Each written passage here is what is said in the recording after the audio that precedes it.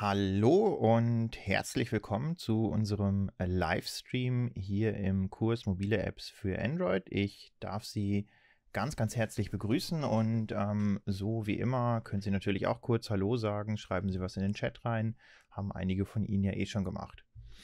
Mm, wir werden heute wieder ein bisschen gemeinsam programmieren und zwar ganz konkret werden wir uns ein neues Thema anschauen, das Sie sich vielleicht auch mit den Vorlesungsfolien äh, seit gestern schon ein bisschen näher gebracht haben. Und zwar wird es darum gehen, wie wir in unsere Anwendungen externe Daten integrieren können, die wir über HTTP-Schnittstellen zum Beispiel von öffentlichen APIs beziehen, ähm, dann transformierend vielleicht in entsprechende Objekte, Oh, ich poste gleich das Starterpaket, keine Sorge. Ähm, die wir dann transformieren in irgendwelche Objekte, die wir innerhalb unserer Anwendung äh, verwenden und dann diese Informationen auch dazu nutzen, um zum Beispiel unser User Interface zu aktualisieren. Wir machen das heute ganz konkret äh, an einer kleinen ähm, an einer kleinen äh, Mensa-App und das Starterpaket dazu, das finden Sie genau hier äh, unter diesem Link. Da sind auch ein paar Kommentare drin. Es gibt auch schon eine kommentierte Lösung. Ich glaube, da ist der Link oben ein bisschen abgeschnitten worden. Das fixe ich dann gleich später noch, aber Sie können auf jeden Fall das Starterpaket schon mal herunterladen. Bevor wir äh, damit loslegen und uns diese Mensa-App dann auch anschauen und äh, Schritt für Schritt versuchen, die Daten von so einem externen Server über eine HTTP-Verbindung in unsere Anwendung zu integrieren, würde ich wieder äh, ein kleines Quiz vorschlagen ähm, um das, was vielleicht aus der letzten Woche am wichtigsten war oder was wir vielleicht in der letzten Woche im Quiz noch nicht so genau besprochen haben, ähm, nochmal abzufragen, ist vielleicht das falsche Wort, aber ihnen die Gelegenheit zu geben, nochmal ein bisschen zu prüfen, ob sie sich so ein paar wichtige Begriffe gemerkt haben und auch, ob sie vielleicht ähm, das ein oder andere ähm, das ein oder andere äh, aus ähm, den aktuellen Folien ähm, tatsächlich schon ähm, sich angeeignet haben. Äh, haben Sie einen Literaturtipp für das Erstellen, Modifizieren von Themes? Meinen Sie damit äh, Android-Themes zu Farbschemen oder was genau meinen Sie?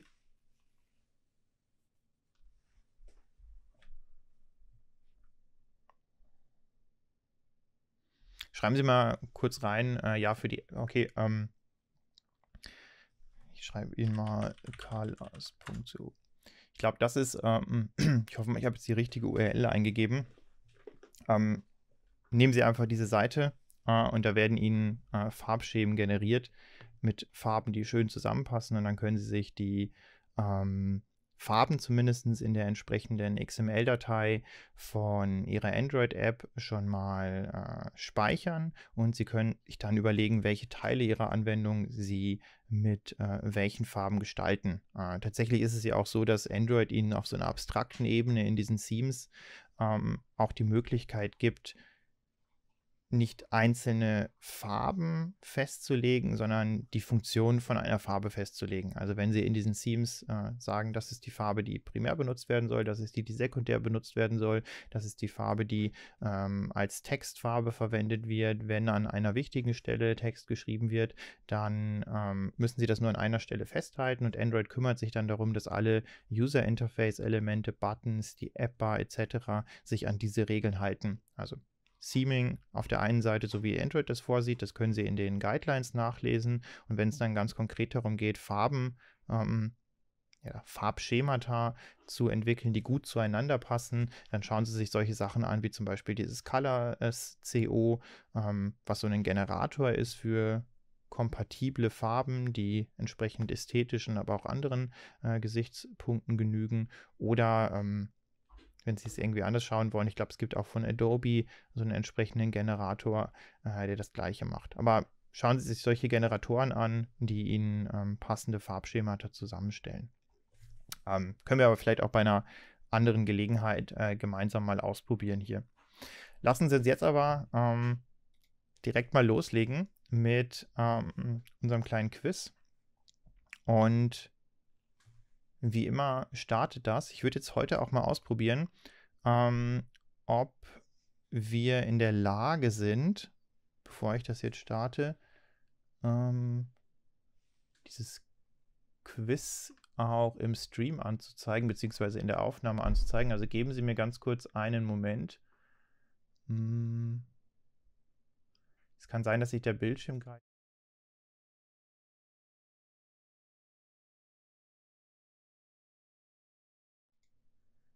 Okay. Das war es leider nicht. Also wird immer noch so sein, dass es kein, äh, kein Quiz in der Aufzeichnung gibt. Vielleicht schaffe ich das im Laufe des Semesters. Egal starten wir mal ähm, mit unserem äh, kleinen Quiz und wir haben uns in der letzten Woche mit Nebenläufigkeit beschäftigt. Das wird uns auch durch das ganze Semester begleiten und vielleicht erinnern Sie sich ja daran, was äh, so dieses, dieser zentrale Begriff in dieser ganzen äh, Angelegenheit ist, der Bereich unserer Programme, in dem wir dann tatsächlich gegenüber anderen Programmen äh, parallel oder zumindest äh, pseudoparallelisiert arbeiten können. Also haben Sie sich da gemerkt, wie dieser Begriff heißt und ich glaube, das haben sie alle äh, sehr gut sich gemerkt. Es geht natürlich um diese Threads, also diese abgeschlossenen Bereiche innerhalb unserer Anwendung. Ähm, wenn dort irgendwie eine Aktion ausgeführt wird, dann ist es zumindest, scheint es so, äh, so, dass diese Operation den Rest unserer Anwendung, den am anderen Thread abläuft, äh, nicht blockiert. Warum sage ich immer äh, so pseudo-parallelisiert oder es scheint so, ähm, weil sie nicht automatisch davon ausgehen können, dass wenn Sie jetzt mit irgendeiner Programmiersprache einen Thread aufmachen, gerade in Java, dass äh, das tatsächlich parallel zeitlich zu anderen Sachen abläuft, weil am Ende immer noch die Laufzeitumgebung äh, in Java und darüber hinaus dann das Betriebssystem entscheidet, wie diese Threads tatsächlich ablaufen, wie die Prozesse ablaufen, in denen die Threads aufgemacht werden. Und wenn Sie irgendwie ein System haben, in dem nur eine CPU ist, mit nur einem Kern, äh, ohne irgendwelche Hyper-Threading-Technologie, dann kann eben nur eine Sache gleichzeitig passieren auf Ihrem System und entsprechend ist das dann immer pseudoparallel gegenüber wirklicher Parallelisierung. In Android haben wir auch solche Threads. Und wir haben in jeder App einen ganz besonderen Thread, der am Anfang für uns erstellt wird und in dem unsere Anwendung, auch unser User Interface erstmal abläuft, solange wir nicht bewusst einen anderen Thread erstellen. Vielleicht haben Sie sich da auch gemerkt, wie man den bezeichnet. Es gibt zwei Bezeichnungen dafür. Äh, eine ist hier gesucht und die andere UI-Thread steht da nicht drin. Ähm, schauen wir mal, ob sie sich diese andere Bezeichnung äh, auch gemerkt haben. Und ja, das haben sie äh, zum großen Teil sich gemerkt. Main Thread oder UI Thread, das ist der für uns wichtige Thread, ähm, bei dem wir oder mit dem wir auch bestimmte Dinge beachten müssen. Und eine Sache, die wir beachten müssen, ist, ähm, dass dieser Thread nicht durch zu aufwendige Operationen blockiert wird. Und wenn wir das ähm, aus irgendeinem Grund nicht verhindern können, dann macht Android irgendwas Bestimmtes. Also wenn wir diesen Main Thread durch eine zu lange Operation blockieren, dann reagiert Android da sehr ähm, aggressiv tatsächlich drauf, weil unsere App dann auch keine Eingaben der Nutzer und Nutzerin mehr verarbeiten kann. Und was dann passiert, ist das, was hier gesucht wird. Und vielleicht haben Sie das sich entweder gemerkt oder Sie kennen es eh schon aus eigenen Erfahrungen mit Android-Apps.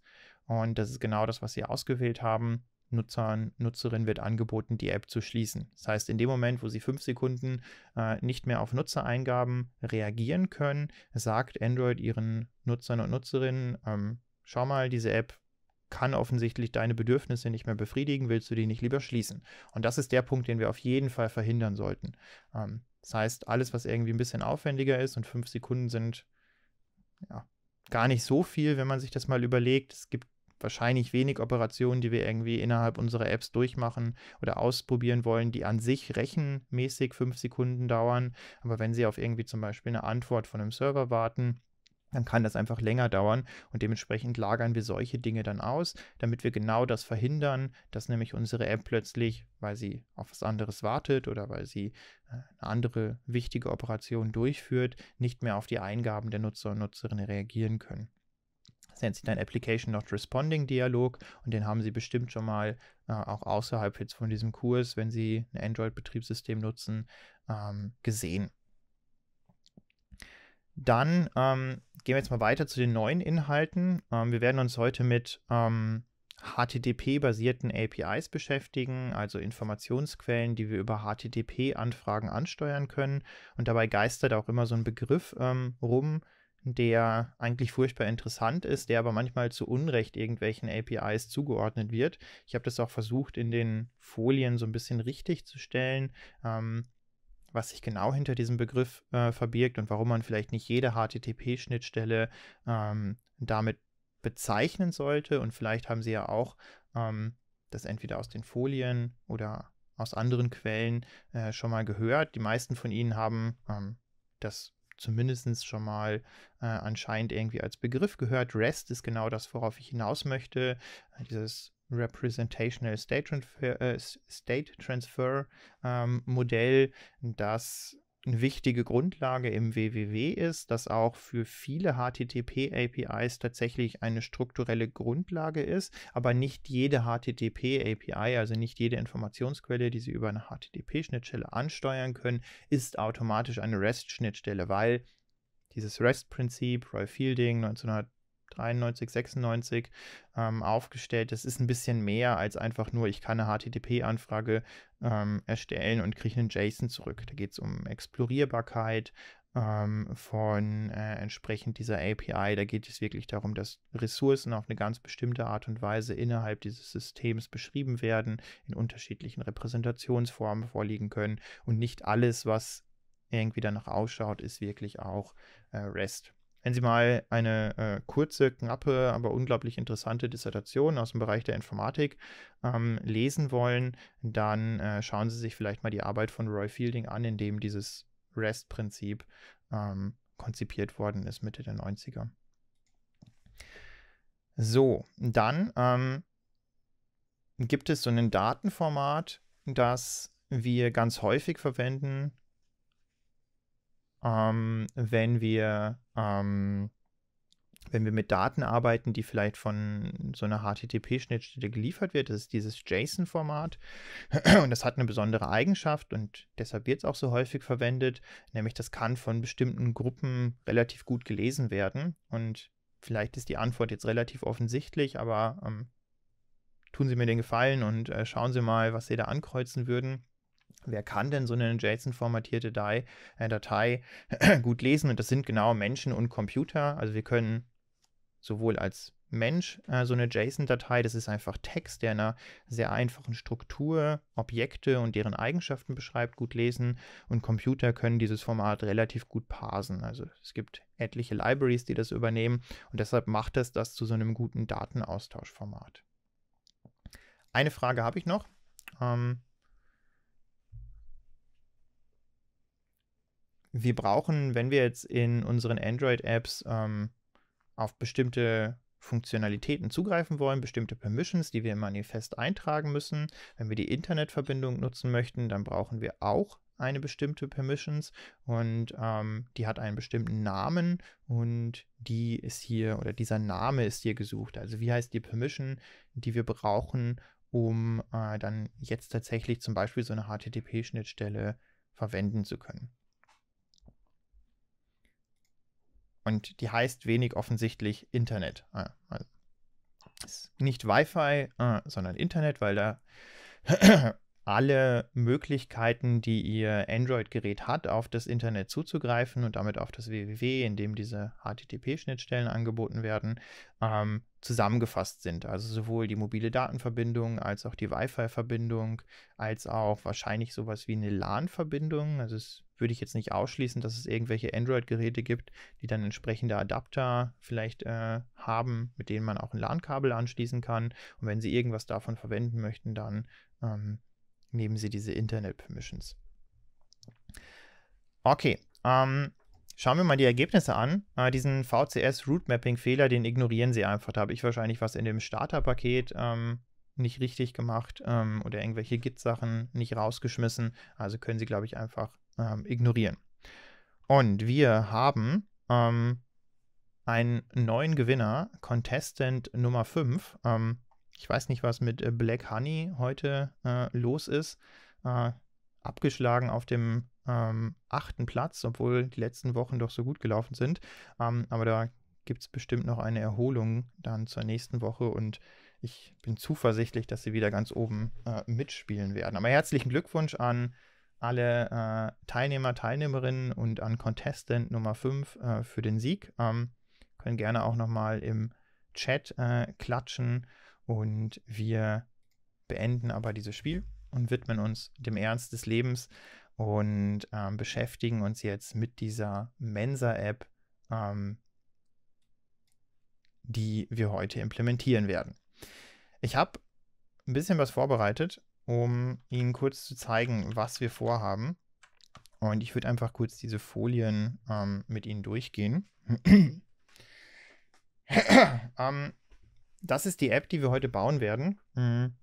Links sehen Sie einen Screenshot, die ist einfach, die ist relativ einfach aufgebaut. Ähm, wir haben so einen Auswahldialog, da zeige ich Ihnen gleich noch, wie man den äh, implementiert ähm, für die einzelnen Wochentage und äh, die Informationen, die Speisen, die es an diesem Tag dann in der Unimensa gibt. Das ist jetzt nur für Regensburg ähm, die, äh, die relevanten Informationen. Also wenn Sie an einer anderen Universität sind, müssen Sie vielleicht mal schauen, ob Sie auch irgendwie diese Daten in einem entsprechend ähnlichen Format bekommen. Dann könnten Sie sich auch eine eigene App für Ihre Mensa bauen, falls Sie überhaupt irgendwie regelmäßig da im Moment hingehen. Und äh, diese Informationen, die beziehen wir über eine HTTP-Schnittstelle. Dann wandeln wir die um in Objekte, die wir innerhalb unserer Anwendung verwenden können und zeigen die dann wieder in so einem Recycler-View in Form von solchen einzelnen Cards, Material Design, dann tatsächlich an.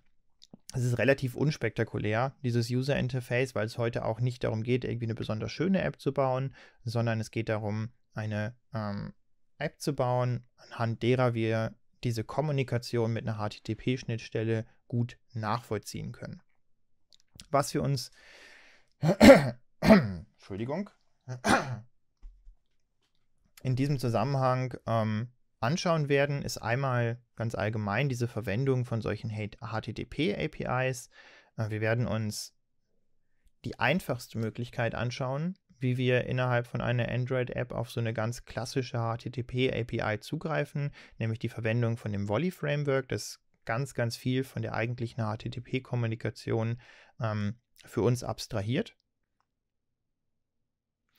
Dann ähm, schauen wir uns an, wie wir die Informationen, die wir vom Server bekommen, ähm, die JSON formatiert sind, in ähm, Objekte umwandeln, die wir dann tatsächlich in unserer Anwendung auch verwenden werden. Also so eine Mapping von JSON-Informationen auf Instanzen von Klassen, die wir zur eigentlichen Datenrepräsentation vorbereitet haben. Und wir werden an der einen oder anderen Stelle vielleicht auch nochmal äh, auf so einen übergeordnetes Thema, nämlich Enums zu sprechen kommen, die ja eigentlich immer relevant sind. Ah, dieses Problem mit dem Starterpaket, wo gerade im Chat drüber geredet wird, haben, haben das andere Leute auch. Ähm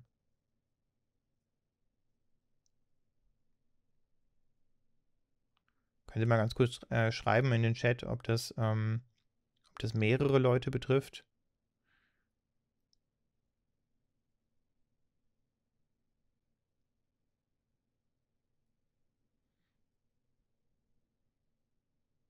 Im Zweifelsfall schauen Sie mal, ob, ähm, ob da vielleicht irgendwie so ein Punkt Git-Ordner drin ist, in den Sie. Also eigentlich können Sie das ignorieren. Ähm, wenn da jetzt irgendwie die App nicht startet, müsste das eigentlich ein, ein anderes Problem sein.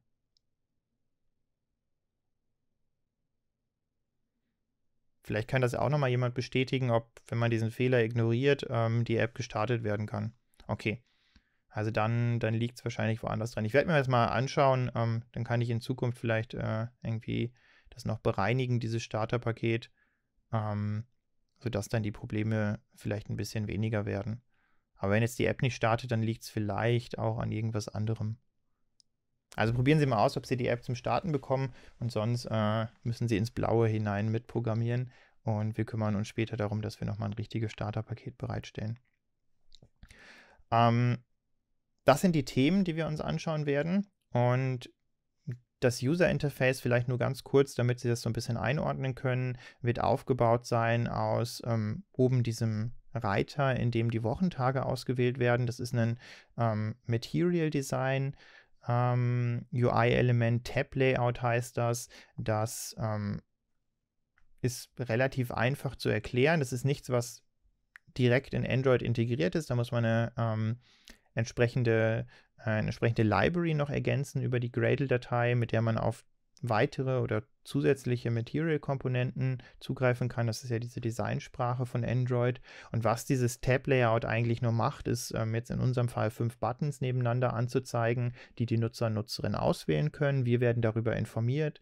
Ähm, welches Element ausgewählt worden ist und Android kümmert sich dann darum, dass dieses ausgewählte Element auch immer auf eine spezielle Art und Weise dargestellt wird. Also darum müssen wir nichts machen. Also eigentlich ist es nur, äh, sind es nur fünf Button nebeneinander ähm, und Android kümmert sich darum, dass die nebeneinander dargestellt werden, dass die unterschiedlichen Zustände dargestellt werden.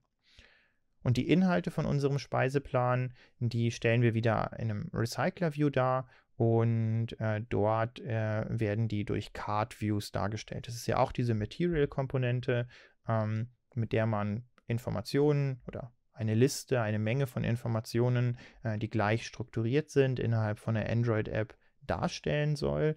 Und deshalb verwenden wir das hier, weil es ja hier auch genau solche Informationen sind. So eine Liste von sehr ähnlich strukturierten Speisen. Da unterscheidet sich eigentlich nur der Name und die Kategorie voneinander, also ob es eine Beilage, ein Hauptgericht oder sowas ist. Und dementsprechend ist dieses Card View vielleicht wieder eine gute Wahl. Das ganze User Interface ist auch vorbereitet äh, in dem Starterpaket. Das heißt, wir konzentrieren uns jetzt erstmal auf äh, den Datenteil und implementieren dann ganz am Ende nur einen ganz, ganz einfachen Recycler, Adapter und Viewholder, um das Ganze zu verbinden. Aber die Layouts, auch dieses Tab-Layout und die Listener, die man dafür braucht, sind vorbereitet. Ähm, was wesentlich interessanter ist als irgendwie das User Interface, ist sich jetzt mal anzuschauen, bevor wir implementieren, wie denn diese Informationen, die in dieser Anwendung angezeigt werden, ähm, durch diese Anwendung fließen. Gehen wir nochmal ganz kurz ein, einmal zurück zu diesem User Interface. Was Sie da ganz am Ende sehen, ähm, sind ja User Interface Elemente, solche Card Views. Ähm, da steht jetzt Hauptgericht und äh, Kartoffel-Gemüsepuffer mit Tzatziki. Das ist sind zwei Texte, die da angezeigt werden und die repräsentieren eins der Hauptgerichte, das Sie, wenn Sie jetzt heute an die Unimensa gehen oder sich das Essen da bestellen, ähm, essen könnten. Und diese Information, die kommt von einem Server als JSON, also als Textinformation kommt eine lange Liste mit den Gerichten, die es jetzt am Freitag oder ist jetzt ein Screenshot von gestern, am Donnerstag in der Unimensa gegeben hätte. Und diese Textinformation, dieses JSON, diese JSON-formatierte ähm, Informationseinheit, die wird irgendwie innerhalb unserer Anwendung so prozessiert und verarbeitet, dass ganz am Ende dieser Card View steht, in dem diese Inhalte angezeigt werden. Also irgendwie von einem Server, der irgendwo an der Uni steht, bis zu ihrer Android-App auf Ebene des User-Interfaces äh, scheint es irgendwie einen Weg dieser Information zu geben, bis dann tatsächlich die Nutzer und Nutzerinnen das rezipieren können. Und den müssen wir uns mal anschauen, damit wir verstehen, was wir eigentlich hier tun. Ich habe mal versucht, ähm, den, den Weg dieser Informationseinheit, also es gibt irgendwie ein bestimmtes Gericht zu essen innerhalb ähm, an einem bestimmten Tag, äh, durch diese App aufzuzeichnen. Und schauen wir uns erstmal an, durch was für Ebenen diese, diese Information läuft. Ähm, die liegt JSON formatiert oder auf dem Server wird sie als JSON für uns zusammengestellt. Klammer auf, das ist auch eine der Eigenschaften, die eine REST API ausmacht, dass wir ähm, auf Grund oder auf Basis der Antwort, die wir erhalten, nicht automatisch darauf schließen können, ähm, wie diese Information auf dem Server tatsächlich abgelegt wird. Das ist der Unterschied zwischen Repräsentation, das ist das JSON, was wir bekommen, und der eigentlichen Ressource, ähm, die vielleicht in der Datenbank liegt oder die irgendjemand jedes Mal, wenn sie den Server anfragen, händisch irgendwie zusammensucht, kann ja alles mehr oder weniger realistisch denkbar sein. Ähm, aber in unserem Fall kriegen wir so einen JSON zurück und äh, die Information, die, die durch dieses JSON repräsentiert wird, die liegt auf diesem Server. Und von da holen wir uns die in die App rein, in die Datenschicht unserer Anwendung. Wenn Sie so ein bisschen oder langsam in diese Richtung Model View Controller äh, denken wollen, ist das das Model, das die in, sind die Informationen, die für den, für den Logikteil unserer Anwendung relevant sind, gehalten. Der Zustand unserer Anwendung wird da abgebildet und da ähm, wird auch diese Information, ähm, dass es eine bestimmte Speise an einem bestimmten Tag gibt, irgendwo abgebildet werden. Dann haben wir die Activity, die hält alles zusammen, sowohl die Datenschicht als auch den Rest der Teil. Es agiert da so ein bisschen als Mediator. Und ganz am Ende haben wir das User Interface, also die eigentlichen ähm, UI-Komponenten, in denen die Informationen dann für die Nutzer und Nutzerinnen sichtbar angezeigt werden.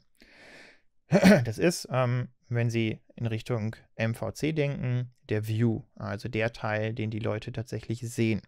Und durch diese vier Ebenen ähm, wird jetzt unsere Information wandern. Es fängt damit an, mit dieser REST API oder ich habe die API selber geschrieben und ich würde jetzt eigentlich nicht mehr sagen, dass das eine REST API ist, sondern es ist eine HTTP API.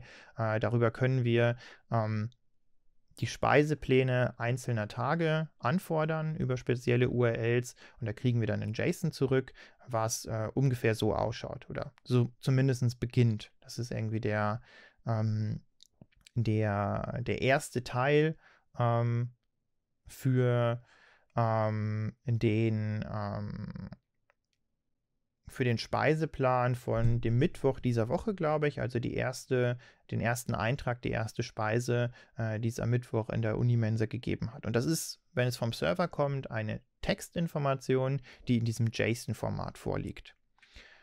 Und die erste Stelle in unserer Anwendung, die was damit zu tun bekommt, ist ähm, eine Klasse, die wir implementieren werden, die heißt Weekly Menu Request und die kümmert sich darum, dass unter Zuhilfenahme von dem Volley Framework ähm, diese JSON-formatierten Daten vom Server bezogen werden. Also wir holen uns an dieser Stelle äh, die Informationen über den Speiseplan in unsere App und wir bekommen die als JSON-Text und wir wandeln die um in ein JSON-Object. Das ist schon ein Java-Objekt, ähm, das die gesamten Informationen, die ähm, in diesem JSON drinstehen, repräsentiert. Also eigentlich ein großes Java-Objekt, in dem wir auf die einzelnen Eigenschaften des JSON, also Name, Day, Category, Labels, Coast und so weiter zugreifen können.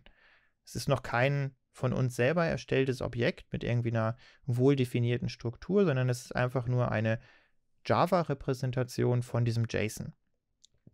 Das geht in den Data Provider. Das ist die Stelle, die die Informationen über den Speiseplan innerhalb unserer Anwendung für andere ähm, Anwendungen bereitstellt, äh, für andere Teile der Anwendung bereitstellt. Ähm, wenn wir an der Stelle ähm, diese Information nach außen oder an andere Stellen unserer Anwendung weitergeben möchten, möchten wir das nicht mehr mit so einem generischen JSON-Objekt machen, sondern die anderen Leute sollen, die anderen Stellen sollen ganz genau wissen, mit was sie zu tun haben. Und deshalb erstellen wir Instanzen von einer eigenen Klasse. Wir überlegen uns, welche Informationen von einem Speiseplaneintrag wir innerhalb dieser Anwendung tatsächlich brauchen und die sammeln wir als Eigenschaften von Objekten der Klasse MensaDish. Dann wird aus diesem JSON-Objekt, was wir schon in der ersten Phase unserer Anwendung aus dem Text JSON generiert haben, ein richtiges Java-Objekt in Anführungsstrichen, ähm, nämlich eine Instanz der Klasse MensaDish, mit dem wir jetzt im weiteren Verlauf unserer Anwendung diese Information repräsentieren.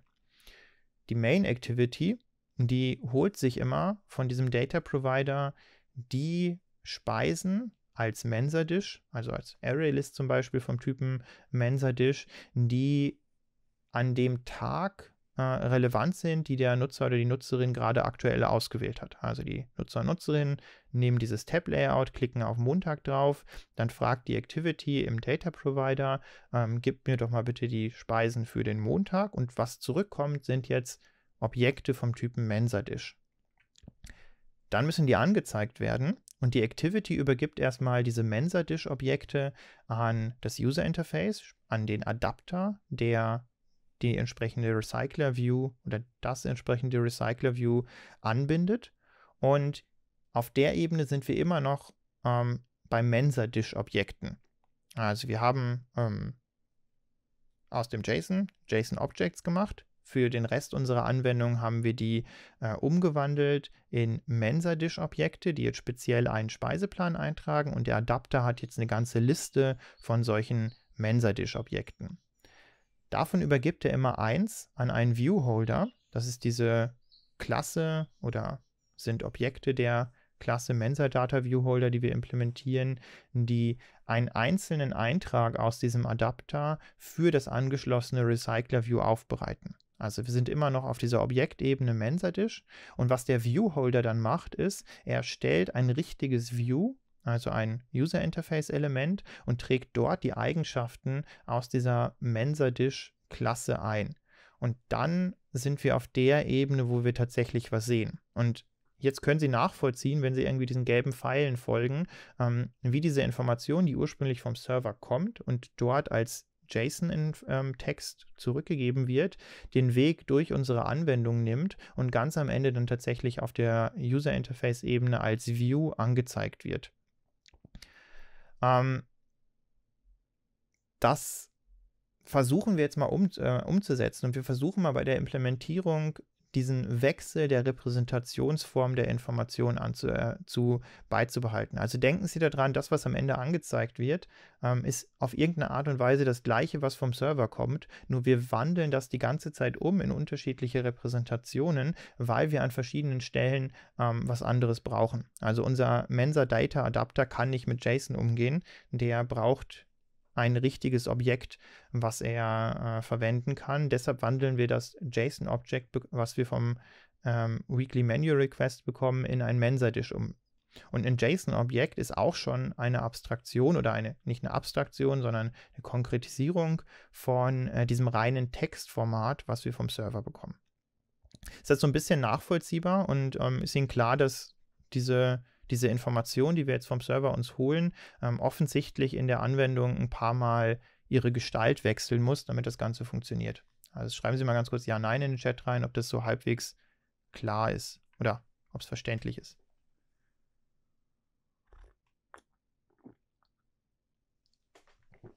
Okay, dann starten wir mal mh, hm, mit der Implementierung. Ich wechsle mal schnell in mein äh, IntelliJ. Ähm, vielleicht noch äh, auch noch ein Kommentar zu dem, äh, zu dem Hinweis. So, grundsätzlich ist es wahrscheinlich nicht verkehrt, sich Gedanken zu machen, ähm, dass man solche Sachen, die man dann von einem Server bekommt, auch abspeichert. Ich weiß nicht, ob das in jeder ähm, in jedem Nutzungsszenario relevant war, wäre. Ich könnte mir vorstellen, dass es in dieser App vielleicht gar nicht so blöd wäre, ähm, diese diese Information über den Speiseplan äh, vielleicht irgendwo abzuspeichern. Ich weiß nicht, ob ich es in der Datenbank machen möchte oder würde. Ich glaube, da gibt es einfachere Lösungen. Aber wenn Sie sich mal überlegen, ähm, diese Speisepläne, die werden sich wahrscheinlich maximal einmal in der Woche ändern. Ähm, das heißt, Sie können relativ sicher sein, dass wenn Sie am Montag die App was fragen und am Dienstag nochmal äh, den Server fragen und am Dienstag nochmal, kriegen Sie wahrscheinlich die gleiche Antwort. Ähm, ich glaube nicht, dass das Studentenwerk irgendwie tagesaktuell die Speisepläne ändert ähm, oder dann auf den Server überträgt. Ähm, von daher wird das wahrscheinlich sogar Sinn machen, weil wenn Sie da mal keine Internetverbindung haben, ähm, dann sind die Daten, die Sie beim letzten Mal bezogen haben, wahrscheinlich immer noch gut. Also was Sie sich überlegen müssen bei solchen ähm, bei solchen Konzepten ist, ähm, kann ich es mir erlauben, die Informationen, die ich vom Server bekommen habe, zu einem, an einem vorherigen Zeitpunkt immer noch in meiner App zu verwenden, äh, wenn ich die gerade nicht aktualisieren kann. Und bei so einem Speiseplan würde ich sagen, unter gewissen Umständen ist das in Ordnung. Ähm, werden wir jetzt nicht machen und muss man vielleicht noch mal ein bisschen genauer drüber nachdenken, aber so die Idee an sich ist, ist gar nicht so blöd. Nur ich würde es vielleicht nicht mit einer Datenbank machen, sondern ich würde mir vielleicht einfach diesen JSON-String ähm, den sie da zurückbekommen, äh, irgendwo in einer einfacheren Art und Weise abspeichern. Also es gibt ja solche Möglichkeiten, Shared Preferences ähm, oder vielleicht einfach eine Textdatei, so eine Cache-Datei auf der SD-Karte. Äh, und dann könnten Sie immer, wenn Sie nichts vom Server zurückbekommen, mit dem letzten JSON-String die äh, gleiche Art und Weise verwenden. Genau. Ähm, das ist noch ein guter Hinweis. Es kommen ganz viele gute Hinweise, kommen wir gar nicht zum Programmieren. Ähm, wenn, wenn sie irgendwelche Informationen anzeigen, die aus dem Internet kommen, ähm, oder aus dem WWW, dann ist es eine sehr gute Idee zu sagen, wie aktuell diese Informationen sind. Und wenn man jetzt noch ein bisschen weiter drin einsteigt, also das ist jetzt eine Nutzerperspektive, ähm, irgendwie so ein Hinweis, die Daten wurden zuletzt am XY aktualisiert, aktuell ist keine Aktualisierung not, äh, möglich, alles super, ähm, können wir nicht machen, weil es den Rahmen ein bisschen so sprengt. Ähm, wenn Sie eine richtige API verwenden, die gut konfiguriert ist, dann erhalten Sie vom Server auch die Informationen, mit denen Sie sowas steuern können. Also eine gute HTTP-API sagt Ihnen zum Beispiel, ob es legitim wäre, die Daten lokal zu cachen. Das sind dann solche Header-Informationen in der HTTP-Antwort. Da sagt Ihnen der Server, okay, meine Daten, die ändern sich gar nicht so häufig. Ähm, Wenn es für dich okay ist, dann speichere die einfach äh, irgendwie ab und äh, nerv mich nicht ständig durch neue Anfragen. Ähm, irgendwie einen Tag lang oder so äh, sind die meistens aktuell. Oder der Server sagt ihnen auch in einer, das ist auch wieder ein wichtiges Charakteristika von einer REST-Schnittstelle, dass diese Möglichkeiten bestehen. Der Server sagt ihnen, ähm, diese Daten sind so wichtig und die können sich so häufig ändern, dass du die auf keinen Fall cachen darfst. Wenn du irgendwie eine neue, wenn du irgendwie nochmal was mit diesen Daten machst, dann frag mich bitte immer nach den aktuellen Varianten. Das sind ja auch denkbare Situationen, dass sich auf dem Server die Daten so häufig ändern, ähm, dass das relevant wäre. Vielleicht müssen wir mal ähm, extra Streams machen, in denen wir uns nur über solche Sachen unterhalten. Lassen Sie uns aber ähm, lieber mit dem weitermachen, was wir eigentlich vorhaben. Und ich würde gerne damit starten, dass wir ganz kurz ähm, über den Code drüber schauen. Der ist im Moment wenig spektakulär. Ich habe diese Main Activity vorbereitet. Sehen auch, dass die App schon ausgeführt wird. Ähm, ich habe ein Layout vorbereitet. Der Recycler View ist aktuell nicht sichtbar. Hier oben ist dieser ähm, Tab, äh, dieses Tab-Layout für die Auswahl der verschiedenen Wochentage. Ähm, ich habe hier unten noch einen kleinen Textview angezeigt und das war es auch schon. Was ich in der Activity vorbereitet habe, ist, ähm, dass ich auf dieses Tab-Layout zugreife. Das ist hier an dieser Stelle äh, in der init-UI-Methode der Fall. Das ist ähm, Day Selector, das ist so ein Tab-Layout. Den selektiere ich mir und ich registriere einen Event-Listener, der mich darüber informiert, wenn einer dieser Wochentage ausgewählt wird. Das sehen Sie hier auch schon im Logcat, ähm, dass da immer, wenn ich ein Element auswähle, so eine kleine Meldung kommt. Das ist diese Stelle, an der ich das abfange. Also ich werde schon informiert, wenn die Nutzer und Nutzerinnen eines dieser Elemente auswählen. Um die Gestaltung muss ich mich nicht kümmern, das macht Android. Ich kriege immer nur mit, es wurde jetzt der erste, der zweite, der dritte, der vierte, der fünfte Eintrag ausgewählt und die Tatsache, dass jetzt hier diese Labels stehen, Montag, Dienstag, Mittwoch, Donnerstag, Freitag, das ist dem geschuldet, dass ich in der ähm, Layout-Datei hier in diesem Tab-Layout diese Tab-Items angelegt habe. Das sind diese einzelnen Elemente und äh, da habe ich dann immer einen Text eingetragen als Label, Montag, Dienstag und so weiter. Mehr habe ich ähm, noch nicht vorbereitet. Ich habe schon mal einen Layout, das stimmt nicht ganz, ich habe schon mal ein Layout vorbereitet für ähm, unsere Einträge in dem Speiseplan, dieses Card View, aber mehr ist jetzt tatsächlich noch nicht drin. Ich habe im Manifest, glaube ich, schon ja, die Permission habe ich schon eingetragen. Das heißt, wir können jetzt dann auch in Zukunft aufs Internet zugreifen, aber alles andere müssen wir jetzt selber implementieren. Und ich würde gerne damit anfangen, dass ich, ähm, bevor ich mich mit dem Internet beschäftige und bevor ich mich mit dem User Interface beschäftige, erstmal in meiner eigenen Anwendung eine Klasse schaffe, mit der ich diese zentrale Informationseinheit, die für mich in der Anwendung relevant ist, und das ist einen Speiseplaneintrag durch eine Klasse abbilde. Also es geht erstmal ganz klassisch um Java ähm, Objektmodellierung. Wir schreiben gemeinsam eine Klasse, die einen einzelnen ähm, Speiseplan Eintrag innerhalb unserer Anwendung repräsentieren soll. Das ist auf der Ebene, ähm, ist es möglich, als nicht eingeschriebener diese Projekte, ja, können Sie gerne machen. Also ähm, Vielleicht kann noch immer jemand den Link posten. Ähm, das sind frei verfügbare Inhalte. Ich glaube, da kommt jetzt bestimmt gleich, genau, da kommt im Chat äh, nochmal das. Und vielleicht kann irgendjemand von den ähm, von den äh, Tutoren äh, vielleicht mal versuchen, auch die Lösung zu posten. Da habe ich ja den falschen Link ähm, gerade reingehauen. Also Master Branch als ZIP-Download wäre super. Ähm, was wir jetzt machen, ist, wir, wir überlegen uns, was macht irgendwie so einen äh, Speiseplaneintrag aus. Und vielleicht schadet es dann nicht, dass wir mal einen kurzen Blick auf das werfen, was wir so von dieser API zurückbekommen. Und ich habe das mal im Browser aufgemacht. Äh, so schaut das aus. Äh, das ist ein JSON. Äh, Sie sehen, wenn Sie sich ein bisschen auskennen mit ähm, HTTP oder REST APIs, offensichtlich ist dieser Server nicht so super konfiguriert, äh, weil der sagt dem Browser nicht, dass es sich um einen JSON handelt, sonst wird das ein bisschen schöner formatiert werden. Aber das ist der, der Inhalt, ähm, den Sie zurückbekommen, wenn Sie für den heutigen Tag über diese URL hier die Informationen von unserer API anfordern würden. Was steht da drin? Äh, das ist ein Array, ein JSON-Array, also eine Menge von Objekten. Einzelne Objekte sind immer durch diese geschweiften Klammern gekennzeichnet.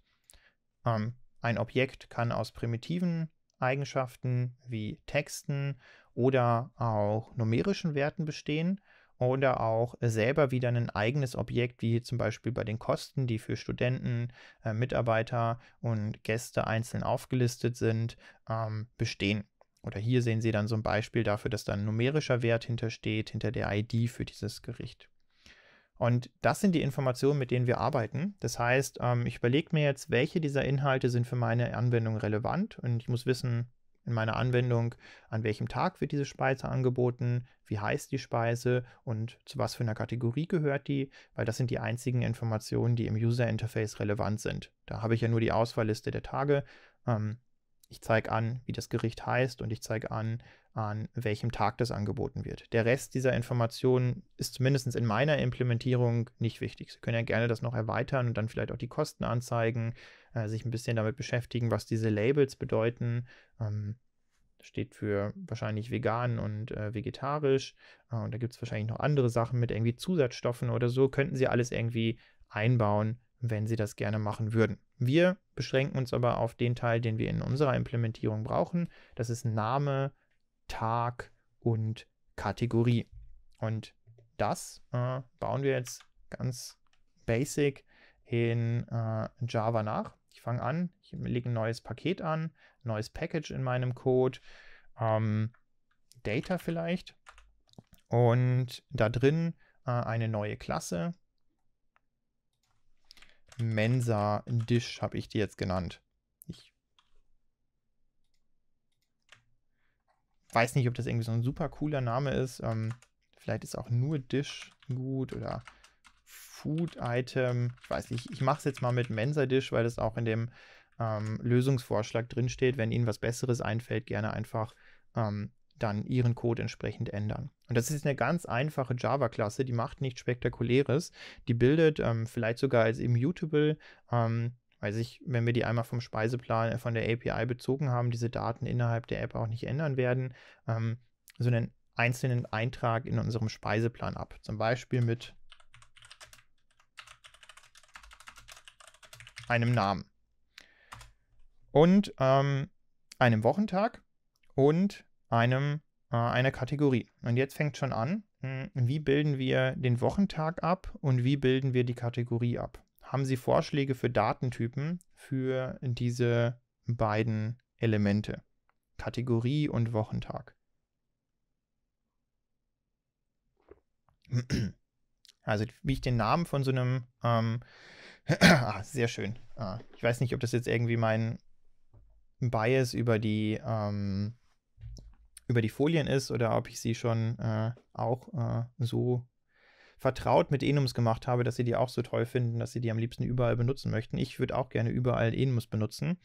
Ähm, und äh, das machen wir jetzt auch. Wir bilden diese beiden Bereiche oder diese beiden Eigenschaften, Wochentag und ähm, Kategorie durch Enums ab. Äh, auch deshalb, weil, oder nicht nur auch deshalb, sondern vor allem deshalb, weil das ja abgeschlossene Mengen von Möglichkeiten sind. So ein Enum ist immer super, wenn Sie ähm, verschiedene Zustände oder Optionen oder Möglichkeiten haben, die eine bestimmte, ähm, eine bestimmte Eigenschaft ähm, haben kann oder Werte, die eine bestimmte Eigenschaft haben kann und äh, die äh, verwenden wir jetzt. Ja, es gibt in Java auch Day-Klassen. Es gibt in Java sogar einen äh, Enum, mit dem wir einfach nur die Wochentage ähm, präzisieren können. Ähm, wir, ähm, wir wollen auf der einen Seite, so wie es gerade im Chat gesagt worden ist, wirklich nur die Wochentage an sich, also wirklich nur diese Information Montag, Freitag, Donnerstag und so weiter abbilden, nicht einen bestimmten Wochentag, nicht den 28. Mai oder so. Und ähm, warum ich den nicht vorgefertigte Enums verwende, äh, Day of Week Enum genau, ähm, ist, weil wir die noch ein bisschen erweitern werden. Also sehen Sie jetzt bei der Kategorie ist es noch relativ ähm, unproblematisch, das zu motivieren, warum wir ein eigenes Enum wählen. Ähm, wir nehmen nicht das Day of Week Enum aus dem ähm, aus diesem ganzen Java äh, Time Zeugs, weil wir das noch ein bisschen erweitern werden. Also bleiben Sie da mal äh, bei mir, äh, dann sehen Sie vielleicht, warum es gar nicht so blöd ist, ein eigenes Enum zu machen. Aber fangen wir mal mit der Kategorie an. Die ist wahrscheinlich ähm, am wenigsten ähm, fragwürdig, wenn wir das äh, in einem eigenen Enum abbilden. Ich mache eine neue Klasse oder ein neues Enum in dem Fall natürlich. Äh, die nenne ich Category und da zähle ich jetzt einfach mal auf, was wir so an Kategorien haben. Äh, Hauptgerichte, ähm, Beilagen und vielleicht sowas wie ein Dessert. Fertig wäre das Enum. Ähm, ist jetzt vielleicht nicht so toll. Ähm, wir können ja in dem Enum noch wesentlich mehr Informationen abspeichern. Das sind ja so kleine Mini-Klassen. Ähm, das heißt, wir könnten zum Beispiel sagen, wenn ich jetzt diesen Eintrag Main in diesem Enum habe, in dieser Enumeration, der ein Hauptgericht ähm, repräsentiert und ich irgendwo in meiner App dieses Konzept von einem Hauptgericht vielleicht im User Interface anzeigen möchte, dann brauche ich einen Text. Und da möchte ich vielleicht nicht Main anzeigen, weil das niemand versteht. Und ich möchte auch nicht vielleicht ähm, dieses Label Hauptgericht irgendwo anders in meiner App abbilden, in irgendeiner Ressourcendatei und dann nochmal nachträglich diesem Enum zuordnen. Sondern ich möchte jetzt sagen, dieser Enum-Wert der hat eine zusätzliche Information, nämlich ein Label, mit dem es nach außen repräsentiert werden kann. Und das kann ich in Java ganz einfach machen, indem ich ähm, eine Eigenschaft anlege. Enums sind nichts anderes als sehr, sehr einfache Klassen. Ist gar nicht richtig, weil die können alles, was Klassen auch können. Ähm, von daher sind sie einfach nur Klassen, die noch einen Twist haben, nämlich dass man die ähm, Ausprägung durch diese Aufzählung der möglichen Werte einschränken kann.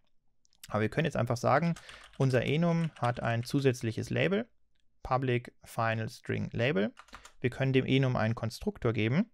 Ähm, Category, der ist immer public bei einem Enum, das heißt, da können wir uns den Zugriffsmodifikator ähm, sparen. Und wir sagen, äh, jeder Enum-Wert wird mit so einem Label initialisiert, das dann dieser finalen Eigenschaft zugeordnet wird.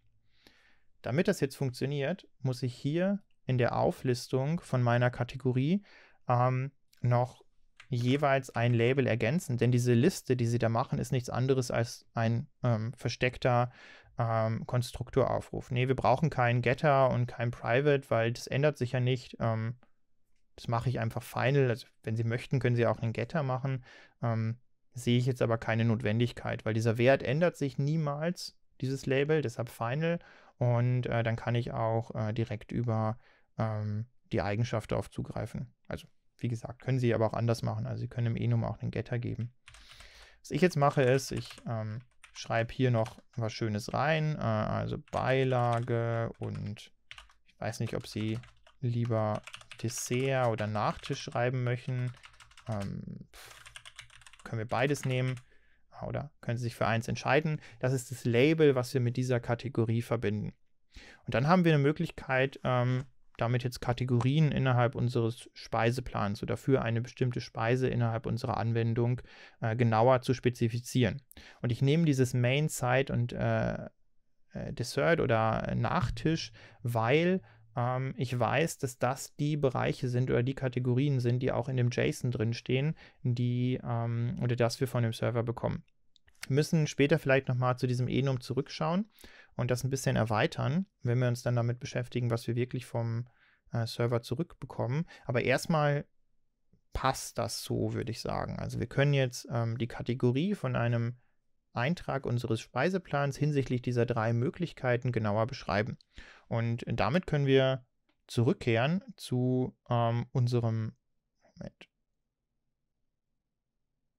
zu unserem äh, Mensa-Dish und können das jetzt erweitern und sagen, neben dem Namen hat das Ganze auch vielleicht eine Kategorie. Und auch die ähm, ist final, die ändert sich nicht, nachdem dieser Men dieses Mensa-Dish einmal erstellt worden ist. Also wir haben jetzt zwei von drei Elementen unseres, ähm, unseres Mensa-Dishes, unseres Speiseplaneintrags abgebildet, nämlich den Namen und der Kategorie. Was fehlt noch? Es fehlt noch ähm, die Möglichkeit, einen Wochentag dem Ganzen zuzuordnen. Und jetzt wird es vielleicht ein bisschen schwieriger zu sagen, warum ich ein eigenes Enum machen möchte. Ähm, es gibt ein Enum, wir können das auch mal, ich kann Ihnen das kurz zeigen. Es gibt ein Enum, was genau das macht, was wir jetzt eigentlich machen wollen. Also Public Final äh, Day of Week heißt es. Ähm, das ist äh, ein Enum, ähm, das in dem Java Util ähm, Paket drin ist und das repräsentiert einen Wochentag, nicht einen spezifischen Tag zu einem bestimmten Datum, sondern einfach nur diese Information Montag, äh, Dienstag, Mittwoch und so weiter. Und das könnten wir verwenden, wenn es uns nur darum gehen würde, ähm, dieses, diese Information ähm, in unserer Anwendung zu repräsentieren.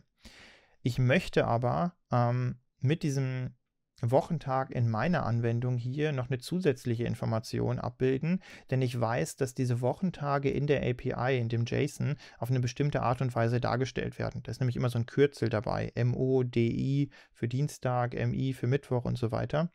Und diese Information möchte ich, genauso wie ich ähm, dieses Label an die Kategorie gebunden habe, gerne in meinem Enum abbilden. Ich würde auch gerne später noch ein paar Komfortfunktionen in diese Enums generieren, um zum Beispiel den aktuellen Wochentag, also bin ich gerade an einem Montag, an einem Dienstag oder so weiter, auszulesen, damit ich weiß, ähm, welchen Tag ich zum Beispiel beim Starten der App ähm, initial anzeigen soll. Deshalb, ähm, also auch wenn es dieses wunderbare Enum gibt, ähm, sehr guter Hinweis übrigens, ähm, dass es das gibt äh, aus dem Chat, äh, würde ich jetzt an der Stelle ein eigenes machen. Ich mache das auch Jetzt nicht auf der Basis von einem existierenden Enum, was wahrscheinlich die bessere Wahl wäre, aber wir trainieren vielleicht einfach mal mit einem einfachen Fall, dass wir die Enums quasi auf der grünen Wiese erstellen. Also mein ähm, Enum heißt Weekday und da speichere ich mir ähm, einen Montag rein, einen Dienstag rein, einen Day, was ich immer falsch schreibe, einen ähm, Donnerstag rein und einen Freitag rein. Jetzt wird sogar ähm, vielleicht noch ein bisschen, äh, was ist schöner, es wird vielleicht noch ein bisschen leichter für mich zu argumentieren, warum wir unser eigenes Enum schreiben. Day of Week äh, beinhaltet auch das Wochenende. Äh, bei uns an der Woche, am, am, Wochenende hat die Mensa zu, sind nur die Werktage ähm, tatsächlich relevant. Ich weiß gar nicht, wie man Werktag äh, korrekt ins Englische übersetzt. Ich weiß nicht, ob man da Weekday sagt. Ähm, aber ist jetzt mein Vorschlag dafür. Das sind die Wochentage, die für uns relevant sind. Und wie angekündigt, würde ich gerne eine zusätzliche Information in dem Enum wieder abbilden. Und das ist ähm, diesen Short Name für jeden Wochentag. Das ist der, das ist das Kürzel, mit dem ähm, dieser Wochentag in den JSON-Informationen, Public Final String Short Name, das ist der, das Kürzel, mit dem ein bestimmter Wochentag innerhalb von der Antwort unseres HTTP-Servers repräsentiert wird. Und den ordnen wir wieder im Konstruktor ähm, jedem Enum-Wert zu und müssen dann natürlich daran denken, dass wir in der Auflistung der Enum-Werte auch ähm, die entsprechenden Kürzel, das sind jetzt einfach die, verrate ich Ihnen, ich habe es ja eh gerade schon gesagt, ähm, Mittwoch, Donnerstag und Freitag. Das sind die Kürzel, mit denen wir in der API-Response diese Wochentage dann am Ende ähm, repräsentieren oder an dem die repräsentiert werden, in dem die repräsentiert werden und äh, die wir dann auch verwenden können, um später aus einem dieser Shortnames äh, den richtigen Enum-Wert herauszulesen. Ähm, auf einer Skala von 1 bis 5, 1 äh, habe ich noch nie gehört, 5 habe ich alles schon gewusst. Ähm, wie sind so Ihre Erfahrungen mit dem Einsatz von Enums auf diesem Level? Schreiben Sie mal in den Chat rein. Also war das jetzt nur Wiederholung oder äh, war das eine sinnvolle Wiederholung, äh, weil Sie ein paar Sachen schon vergessen haben? Also ich kann Ihnen echt Enums nur, äh, ich habe es im ganzen Winter, glaube ich, auch ganz häufig im OOP-Kurs gemacht, äh, ans Herz legen. Das ist eine sehr, sehr gute ähm, Möglichkeit, wie sie so abgeschlossene Bereiche oder Informationsbereiche, Optionen, Zustände etc. sehr leicht abbilden können. Und sie können eben aufbauend auf diesen ganz einfachen, äh, auf dieser ganz einfachen Idee, dass so ein Enum eine Reihe von Zuständen oder Möglichkeiten abbildet, darüber, dass das eben Klassen sind am Ende, auch noch viele weitere Informationen mit diesen ähm, mit dieser singulären Information eines Zustands äh, kombinieren. Okay, fügen wir das auch mal in unserem äh, Mensa-Dish dann äh, tatsächlich ein. Also wir haben jetzt ähm, unseren Namen für das Gericht, wir haben unsere Kategorie und wir haben natürlich jetzt auch noch äh, einen Wochentag und die Eigenschaften nennen wir vielleicht on day. Auch hier wieder ist alles öffentlich und final. Ich möchte das Objekt so einfach wie möglich halten. Äh, das wird so ein Immutable werden. Ich setze die Elemente einmal, wenn ich äh, das Element oder das Objekt erzeuge im Konstruktor und danach ähm, kann jeder, der möchte, diese Information auslesen, aber nicht mehr verändern, was dann auch zur Folge hat, dass wir relativ sicher dieses oder Instanzen dieses Objektes innerhalb unserer Anwendung rumreichen können. Schreiben wir uns einen einfachen Konstruktor. Ähm, bin mir nicht sicher, ob der am Ende dann auch so verwendet wird, weil wir ja diese Elemente eigentlich nur immer dann erzeugen, wenn wir die aus dem JSON aufbauen. Ähm, aber es schadet wahrscheinlich nicht, vor allem weil dann diese Fehlermeldungen verschwinden, ähm, vielleicht einen einfachen Konstruktor zu ergänzen. Also ein Name ähm, ein Kategorie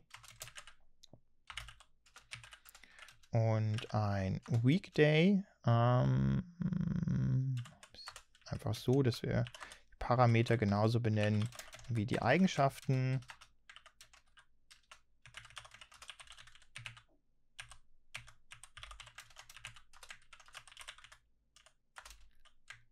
Und damit ist unser Objekt, wenn ich das richtig mache, so, damit ist unser Objekt, ähm, damit ist unser Objekt für das Abspeichern eines einzelnen Eintrags in unserem Speiseplan fertig. Also vielleicht noch nicht hundertprozentig fertig, weil wir bestimmt noch ähm, das eine oder andere ändern müssen. Aber ähm, wir haben jetzt irgendwie eine Zielvorstellung. So sollen die Objekte ausschauen, die in unserer Anwendung am Ende ähm, angezeigt werden. Also alle Speiseplandaten, die am Ende im User äh, Interface angezeigt werden, ähm, werden am Ende wahrscheinlich oder werden auf jeden Fall innerhalb der Anwendung durch so einen einzelnen Eintrag abgebildet oder durch eine Instanz abgebildet werden. Wir programmieren gerade eine Mensa-App äh, für die Uni Regensburg im Rahmen von einem VHB-Kurs Virtuelle Hochschule Bayern, äh, in dem es um Android-Entwicklung geht. Also, wenn Sie Lust haben, einfach da bleiben ähm, und gerne auch im Chat beteiligen. ähm, der nächste Schritt, nachdem wir jetzt wissen, wie wir diese Informationen innerhalb unserer Anwendung abbilden können, nämlich mit diesem Objekt hier oder mit äh, Instanzen von dieser Klasse, ähm, ist es, sich die JSON-Informationen äh, von dem Server zu holen. Das heißt, wir müssen jetzt diese eigentliche HTTP-Anfrage erstellen und müssen die dann umwandeln in äh, ganz viele von diesen Objekten, ähm, damit der Rest von unserer Anwendung was damit anfangen kann. Das heißt, unsere nächste Aufgabe ist es, äh, diesen HTTP-Request zu erstellen. Also eine Anfrage an den Server zu stellen, die JSON-Antwort abzuwarten und äh, die dann ähm, zu transformieren, die Inhalte rauslesen und äh, damit neue Mensa-Dish-Objekte zu erstellen. Ähm, wenn wir so eine Anfrage an den Server stellen, dann schadet es nicht vielleicht diesen Prozesscharakter, der da jetzt passiert, weil ich, ich mache irgendwas, ich stelle eine Anfrage an einen Server, ich stelle sogar mehrere Anfragen jetzt in unserem Fall, weil wir bei dieser API die Speisepläne für die einzelnen Wochentage durch einzelne Requests ähm, abfragen müssen. Ähm, das vielleicht irgendwie auch auf Code-Ebene durch entsprechende Klassen abzubilden. Also das Konzept ist ja, wir, wir haben jetzt eine eine Aufgabe, wir haben ein Informationsbedürfnis, ein Request, den wir an diesen Server stellen und der beantwortet werden soll ähm, mit diesen JSON-formatierten Daten, äh, die uns Auskunft darüber geben, was es denn jetzt an den ganzen Wochentagen zu essen gibt in der Mensa. Und wenn wir sowas haben, dann ähm, überlegen wir uns, wie wir das irgendwie in der Anwendung modellieren können.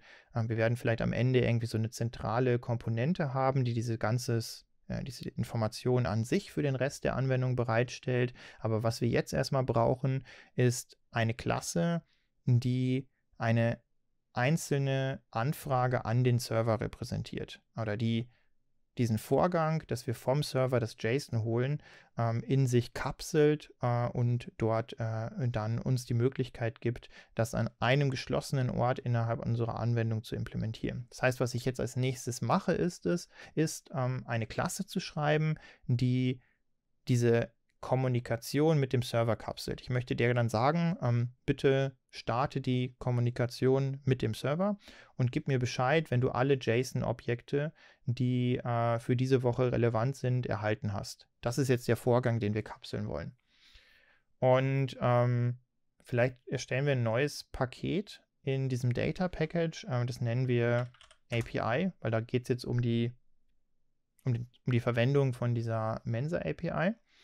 Und unsere Klasse, die wir erstellen, die können wir vielleicht nennen uh, Weekly Menu Request. Ähm, da drin möchte ich jetzt die, diesen ganzen Vorgang kapseln. Also jedes Mal, wenn ich einen neuen wöchentlichen Speiseplan von meiner Anwendung brauche oder wenn ich zumindest die JSON-Objekte brauche, die den wöchentlichen Speiseplan repräsentieren, dann nutze ich eine, eine Instanz dieser Klasse. Die erstelle ich mir und die sage ich, der sage ich dann, mach mal und sag mir Bescheid, wenn, äh, wenn du fertig bist. Ähm, damit das funktioniert, ähm, brauchen wir wahrscheinlich eine bestimmte Art und Weise, wie die Instanz, die wir hier erstellen, also wie dieser Weekly, Weekly Menu Request äh, mit dem Rest der Anwendung kommuniziert. Also ich habe es jetzt ja schon so ein bisschen angedeutet. Wir, wir sagen dieser Instanz dann später, leg mal los und hol mir die Daten und gib mir Bescheid, wenn du damit fertig bist. Warum gib mir Bescheid, wenn du damit fertig bist? Weil diese Aktion, jetzt über das Internet mit dem Server zu sprechen, die sollte asynchron verlaufen. Ähm, die dauert auch vielleicht ein bisschen und das ist kein, keine Antwort, kein Ergebnis, was wir sofort haben. Ähm, was heißt das für, für uns? Also auf welche Art müssen wir mh, hm, zumindest das Antwortverhalten von dieser Klasse mit dem Rest der Anwendung verbinden? Hat da jemand eine Idee, worauf ich hinaus möchte? Äh, wir sagen Listener, genau. Also irgendwie wird es wahrscheinlich so einen Listener geben. Das heißt, ich habe wahrscheinlich in dieser Klasse sowas wie eine Startmethode vielleicht, die führt diesen ganzen Request aus und ähm, wenn die damit fertig ist, informiert die einen Listener. Ähm, dieser Listener, der kriegt dann vielleicht irgendwie einen Array aus JSON-Objekten zurück, das äh, verwendet wird, um ähm, diese Information, die dieser Request jetzt bezogen hat, nach außen zu geben können uns ja mal diesen, diesen Listener direkt ähm, in der Klasse definieren, also als innere öffentliche Klasse, damit andere darauf zugreifen können. Ähm, nennen wir den vielleicht, nennen wir den Weekly Menu Request Listener. Es ist ein Listener, der äh, auf ähm, diesem Weekly Menu Request äh, registriert wird und über bestimmte Zustandsveränderungen von dem informiert. Und ähm, wir können die Methode, die wir da brauchen, vielleicht on data request finished nennen. Also das ist irgendwie die, die Methode, die wird ganz am Ende von diesem ganzen Vorgang aufgerufen, wenn unser Weekly Menu Request alle Informationen vom Server bezogen hat. Und was kriegt der übergeben? Der kriegt übergeben vielleicht ein JSON Array. JSON Array und JSON Objects, das ist diese erste ähm, Schicht oder die erste, der erste Schritt, ähm, den wir in diesem Informationsfluss unserer Anwendung äh, geplant haben. Wir kriegen Text zurück von dem Server, der ist JSON formatiert. Wir wandeln den schon mal um in äh, diese beiden oder in Objekte von äh, diesen beiden Klassen, JSON Array oder JSON Object, die generisch in Java ähm, JSON-Informationen zugänglich machen und die Schicht in unserer Anwendung, die dann diesen Weekly Menu Request verwendet und diese Informationen erhält, die wandelt das dann um in die Mensa-Dish-Objekte. Okay, das heißt, unser Request braucht ähm, irgendwie einen Listener, den es, ähm, den es informieren soll. Ähm, gibt jetzt unterschiedliche Stellen, wo man das vielleicht ähm, setzen kann, Setter-Methoden. Wir können es an die Start-Methode übergeben. Ich würde vielleicht vorschlagen, dass wir äh, tatsächlich so einen Konstruktor einfach verwenden.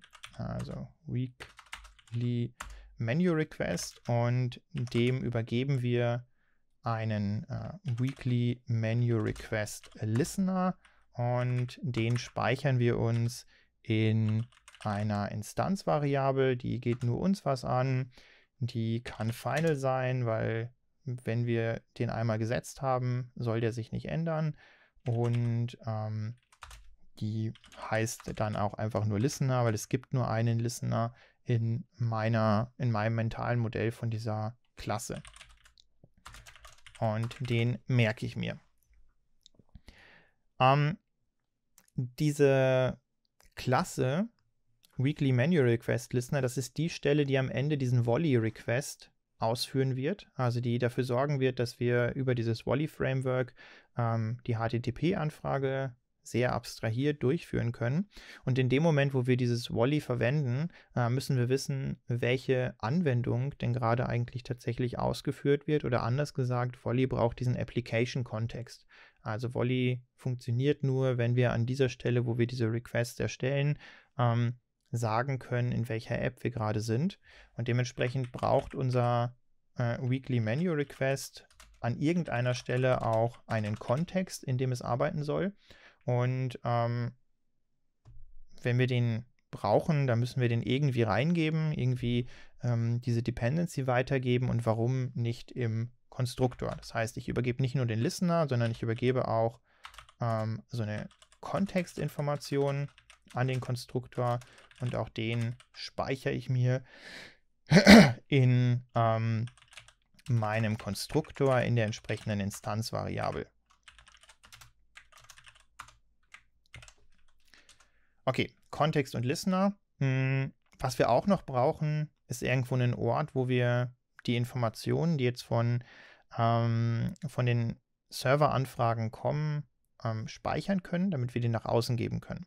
Warum ist das wichtig? Ähm, wir müssen hier an dieser Stelle jetzt fünf ähm, HTTP-Anfragen miteinander kombinieren. Wir müssen einmal die Speisen für Montag für die äh, Anfragen, dann die für Dienstag, dann die für Mittwoch, dann die für Donnerstag, dann die für Freitag. Und äh, das heißt, dass wir nicht nur eine HTTP-Anfrage stellen, sondern fünf.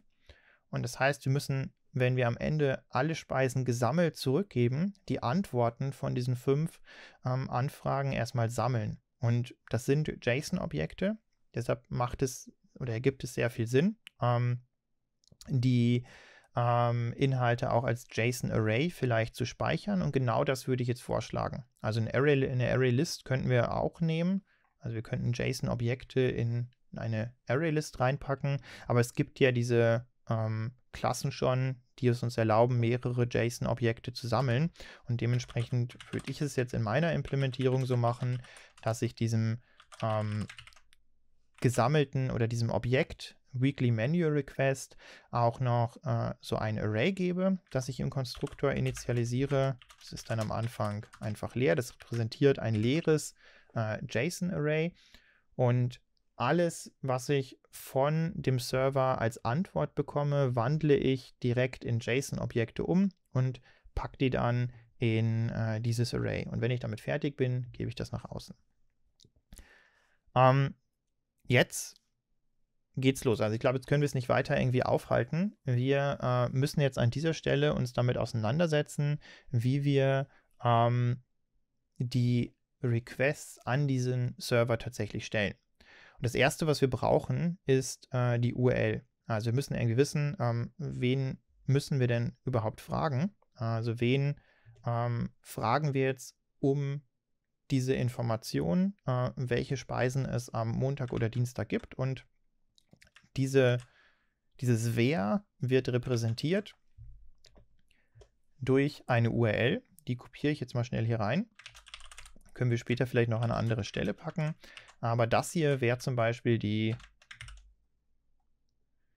HTTP-URL, die wir fragen müssen, ähm, was oder äh, die wir ansteuern müssen, um die Speisepläne für den Speiseplan für den Freitag der aktuellen Woche zu erfragen. Und wenn wir ähm, den vom Montag haben wollen, dann schreiben wir hier einen Montag hin und hier einen Dienstag für den Dienstag. Also das hier ist der generische Teil der URL. Das fragen wir quasi nach dem Speiseplan der Unimensa an sich.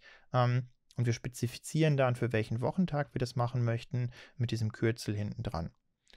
Und das müssen wir jetzt irgendwie in unserem Programm machen. Das funktioniert nicht mehr, wenn wir das in den Browser eingeben, weil wir wollen die Sachen ja verarbeiten programmatisch. Und ähm, dementsprechend müssen wir diese Anfrage, die sich hinter dieser URL verbirgt, jetzt ähm, durch Code lösen. Und das machen wir, indem wir dieses Volley-Framework verwenden, was diesen gesamten Vorgang, ich frage einen Server über HTTP nach bestimmten Inhalten und kriege die Antwort zurück, für uns ganz, ganz stark abstrahiert. Das sind eigentlich nur zwei, drei Schritte, die wir tun müssen. Das erste, was wir machen, ist, wir erstellen uns eine Queue, in der wir mehrere HTTP-Anfragen sammeln können, weil wir brauchen ja nicht nur eine Anfrage, sondern gleich fünf. Dann packen wir in diese Queue die fünf Anfragen an die verschiedenen URLs, starten das Ganze und registrieren im Vorfeld einen Listener, der uns immer informiert, wenn auf eine dieser Anfragen eine Antwort vorliegt. Das ist jetzt das, was wir vorhaben. Ähm, die Queue, die wir brauchen, heißt äh, Request Queue und die erzeugen wir, wenn wir in oder auf äh, der Volley-Klasse die Methode New Request Queue aufrufen. Und was wir jetzt hier brauchen, ist dieser Application-Kontext. Und den haben wir uns ja ähm, schon über den Konstruktor mitgeben lassen und in einer Instanzvariable gespeichert. Jetzt müssen wir ähm, für jeden Wochentag diese URL nehmen und auf der Basis dieser URL äh, einen sogenannten String Request erstellen und sagen, dass wir die Antwort des Servers auf diese einzelne URL gerne als Text in unserem Code verwenden wollen würden. Ähm, woher bekomme ich die Kürzel für die einzelnen Wochentage? Die haben, wir, die haben wir in der App schon irgendwo abgelegt. An welcher Stelle von unserer App liegen die schon? Also wo könnte ich nachschauen, wenn ich wissen müsste, genau, die Enums für die Wochentage.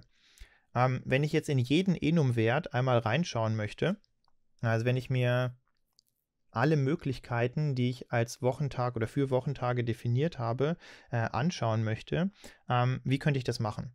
Hm. Oder anders gesagt, wissen Sie, dass es eine Möglichkeit gibt, über alle möglichen Enum-Werte relativ leicht zu iterieren? Haben Sie das schon mal gemacht? Ich zeige es Ihnen mal und dann können Sie in den Chat reinschreiben, ob Ihnen das bekannt vorkommt. Es gibt ja diese äh, wunderbare For-Each-Schleife in äh, Java. Diese Abkürzung über, um über irgendwas Iterierbares äh, zu iterieren und jeden Wert einmal in einer äh, Zählervariable oder Laufvariable ähm, verwenden zu können. Und das können wir mit solchen Enum-Werten auch machen. Ich kann über ähm, alle Werte die in einem Enum gespeichert sind, zugreifen oder iterieren, indem ich mir so eine Vorschleife baue. Das hier ist meine Variable, in der bei jeder Iteration einer der Wochentage dann zugreifbar ist, also einer der Enum-Werte. Und ich greife auf die Values innerhalb dieses Enums zu. Und damit habe ich meine Schleife, die ähm, über alle Wochentage läuft. Und das heißt, wenn ich jetzt hier diese URL haben möchte, dann könnte ich sowas machen. String URL ist das hier vielleicht plus day.shortname. Und dann hätte ich für jeden Wochentag äh, die passende URL. Ist vielleicht jetzt nicht so toll. Ähm, vielleicht machen wir es lieber ein bisschen schöner. Wir nehmen uns diese URL, diese Base-URL, also den Teil, der für alle gleich ist. Den speichern wir vielleicht als ähm, Konstante, private static final string Base-URL. Und ich könnte ja äh, mir vielleicht merken, was ist denn das jetzt hier? Das soll so sein, dass ich hier hinten an diese Base-URL immer ähm, ein bestimmtes Kürzel anhängen muss. Ähm, Kürzel gerne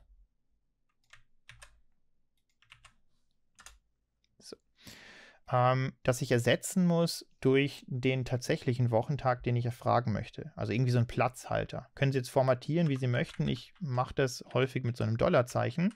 Ähm, das ist der Teil von der URL, den ich ersetzen muss, um ähm, die richtige URL für einen angefragten Wochentag zu erhalten. Und in meiner Schleife nehme ich mir jetzt diese Base-URL und ich nutze die Replace-Funktion. Das ist jetzt die einfachste Möglichkeit, das zu tun. Ich weiß, es gibt ganz viele andere, schönere Möglichkeiten, äh, irgendwie Strings zu formatieren, aber vielleicht hilft das ja beim etwas Aufräumen vom eigenen Code. Und ich sage jetzt, ich möchte, dass dieses Kürzel Day, was ich in die Base-URL als Platzhalter eingefügt habe, ersetzt wird durch den Shortname vom aktuellen Wochentag. Genau. Also gibt noch mehr Möglichkeiten.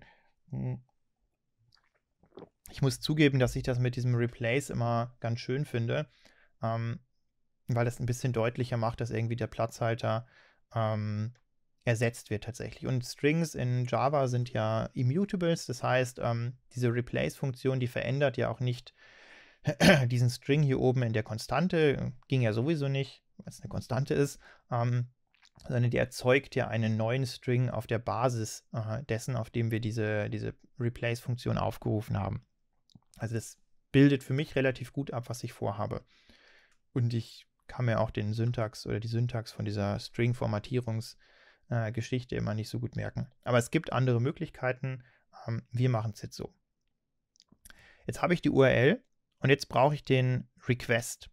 Und so eine String-Request, ähm, also kurz Klammer auf, ähm, Sie können Volley sagen, ähm, was Sie für eine Art von Antwort vom Server erwarten. Wenn Sie einfach nur Text erwarten äh, und auch nur Text verarbeiten möchten, dann äh, ist die einfachste Möglichkeit, so einen Request zu stellen, die Verwendung von einem String Request. Wenn Sie äh, wissen, dass das eh schon ein JSON ist und das sauber formatiert ist, können Sie auch sowas wie einen JSON Request ähm, verwenden und dann kriegen Sie direkt JSON-Objekte zurück. Wir machen das jetzt mal mit dem generischsten. Wir ähm, erstellen eine ein String Request für diese URL und wir ähm, erwarten einfach, dass wir Text zurückbekommen und wir kümmern uns dann selber um diese Transformation der JSON-Objekte. Aber nur der Hinweis, Sie können in Volley, ähm, wenn Sie wissen, was Sie für eine Antwort bekommen, durch die Verwendung unterschiedlicher Request-Types oder auch das Überschreiben und Anlegen eigener Request-Types, ähm, dieses, die Antwort, die Sie auf diesen Request bekommen, sehr gut steuern. Wir machen es jetzt aber, wie gesagt, relativ einfach. Ähm, wir erstellen uns einen String Request. Ähm, String Request oder einfach nur Request.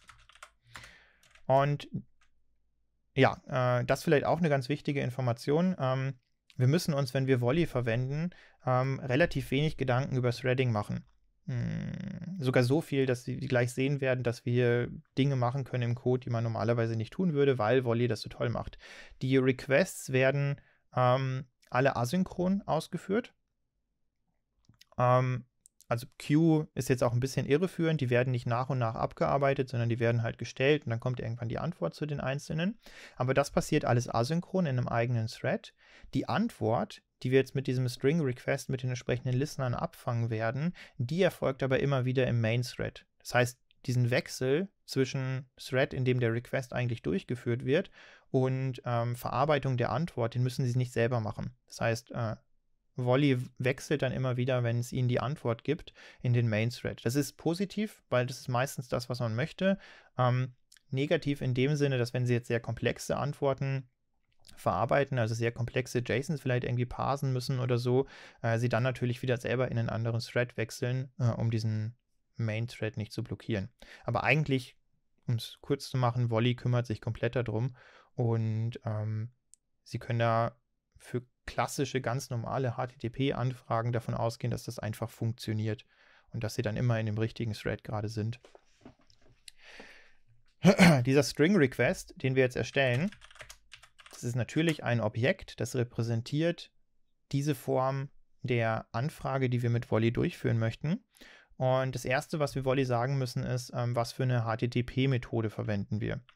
Ähm, Sie können, wenn Sie über HTTP mit ähm, einem Server kommunizieren, über so einen HTTP-Verb spezifizieren, was Sie für eine Form der Kommunikation mit diesem Server wünschen. Das ist ganz weit äh, hergeholt für ein ganz einfaches Prinzip. Sie sagen einfach, wollen Sie Informationen holen oder wollen Sie Informationen ablegen auf dem Server? Das sind so die beiden ähm, wichtigsten Methoden, die man mit HTTP durchführen kann. Und diese Art der Kommunikation, die wird über so ein HTTP-Verb oder HTTP-Methode äh, spezifiziert. Und in unserem Fall sagen wir, wir hätten gerne Informationen. Wir würden gerne über dieses GET ähm, Informationen vom Server holen. Wir wollen nichts ablegen, wir wollen nichts neu erstellen, wir wollen nichts ähm, aktualisieren, sondern wir wollen Dinge vom Server holen.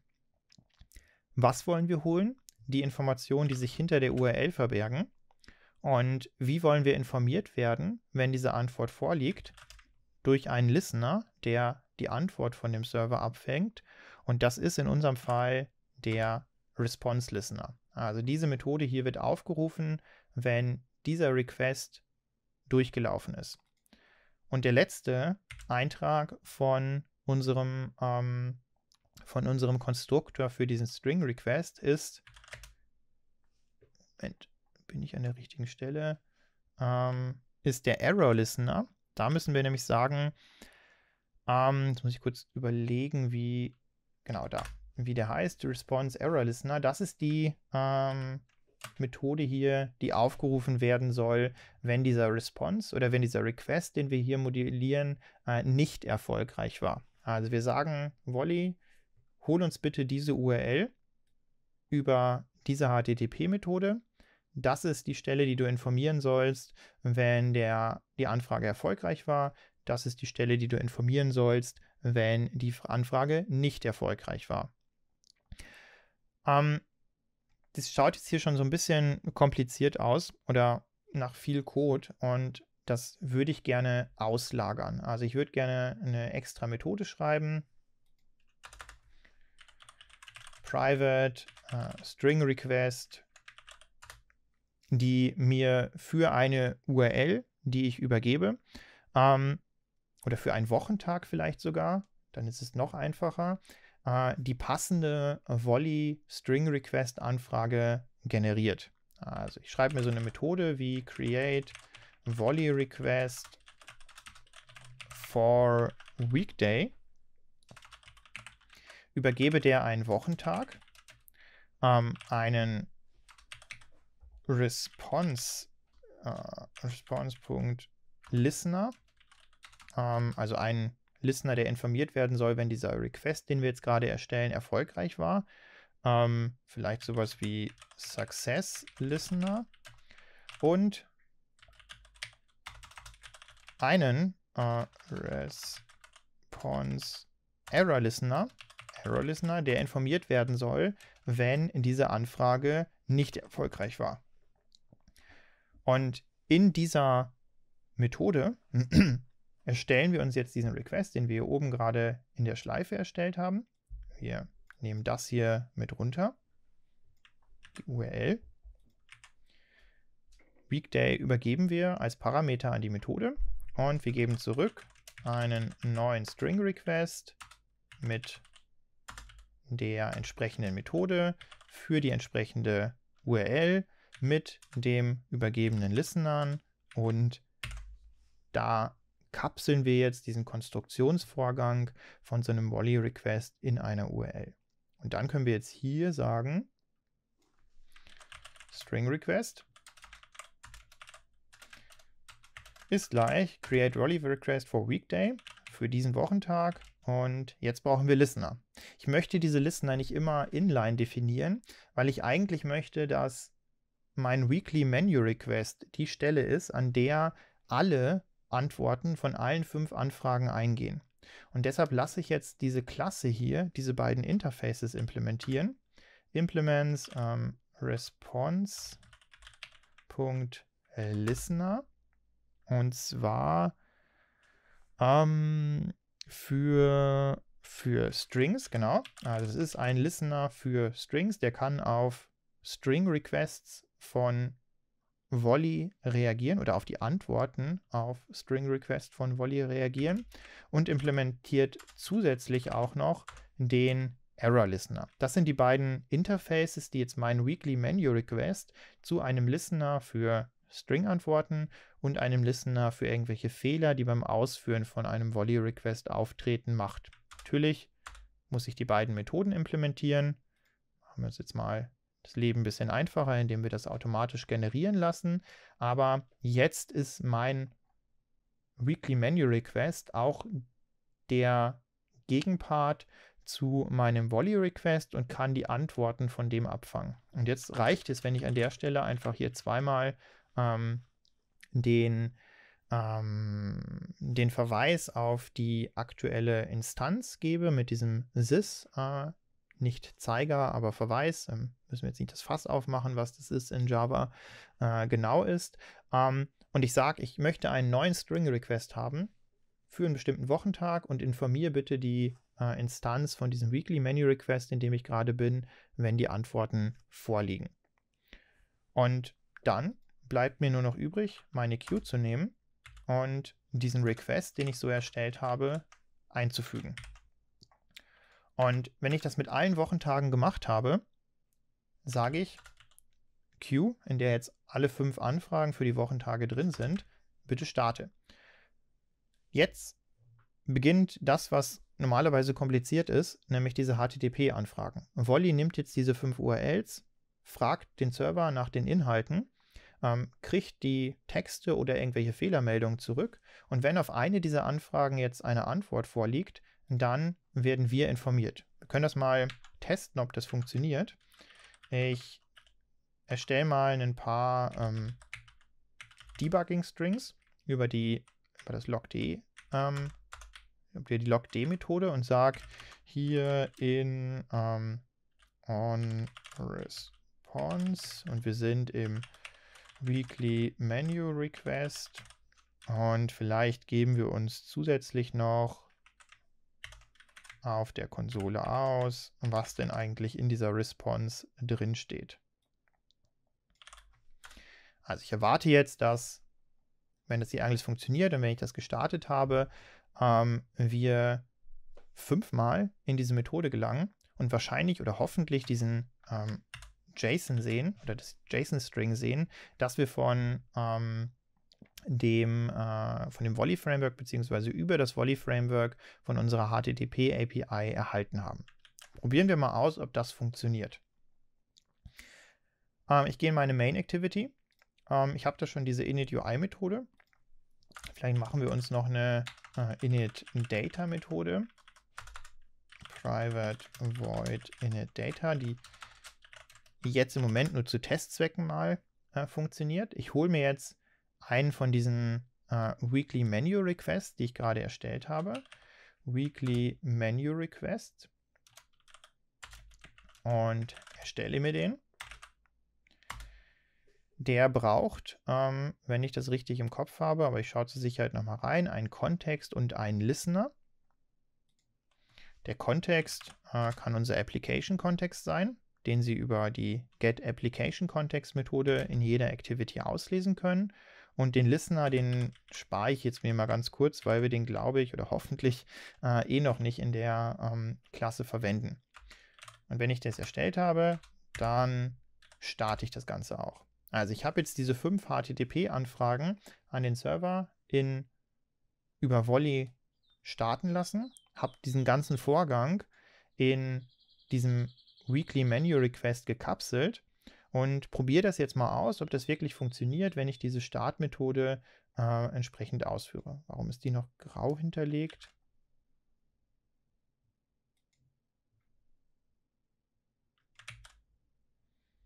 Moment. Hm. Ich dachte, dass Android Studio so schlau ist, das zu erkennen. Vielleicht täusche ich mich auch und wir sehen gleich den ersten Fehler des heutigen Tages. Aber probieren wir das jetzt einfach erstmal aus. Wichtig, damit das funktioniert, ähm, im Manifest muss uns die Erlaubnis eingetragen oder müssen wir die Erlaubnis oder um die Erlaubnis gebeten haben, das Internet zu nutzen oder die Internetverbindung zu nutzen.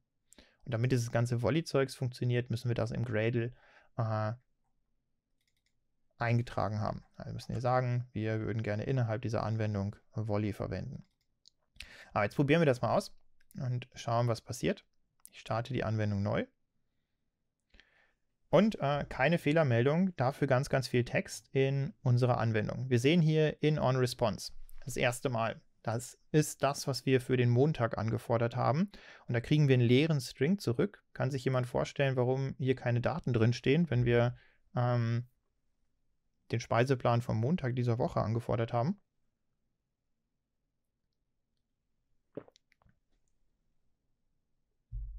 Feiertag, genau. Mensa hat zu, deshalb keine Speisen.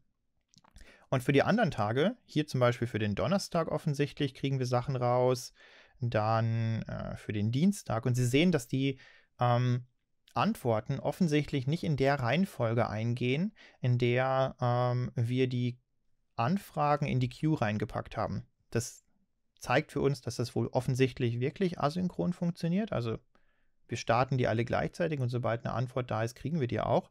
Und der Server kann auf unterschiedliche Anfragen unterschiedlich lange brauchen. Also wenn es an einem Tag irgendwie 100.000 Speisen gibt, dann dauert es vielleicht ein bisschen länger, dieses JSON zusammenzustellen und dann zu schicken. Und der, die Übertragung dauert natürlich dann auch ein bisschen länger. Dementsprechend können Sie bei solchen Sachen nicht sicher sein, dass das einfach in der richtigen Reihenfolge passiert.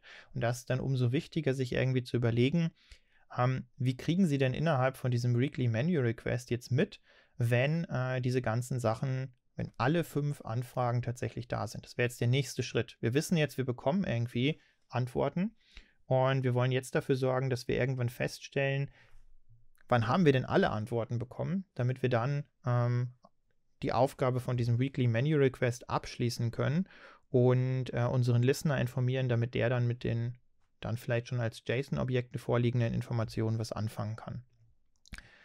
Ähm, wir sind jetzt am Ende von der offiziellen Sitzung.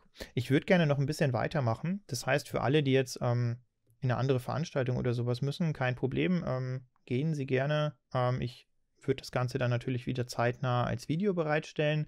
Für die anderen, ähm, vielleicht machen wir noch ein halbes Stündchen oder so ähm, oder wie lange wir Lust haben und äh, programmieren noch ein bisschen weiter. Also nochmal äh, für die, die jetzt weg müssen, vielen Dank für die Aufmerksamkeit. Äh, wir sehen uns spätestens nächsten Freitag wieder ähm, oder in den Übungen oder vielleicht müssen wir nochmal einen extra Stream einschieben, um die Aufgabe komplett zu vervollständigen. Aber bis dahin alles Gute und für die, die noch weiter da bleiben möchten, machen wir jetzt einfach direkt äh, weiter.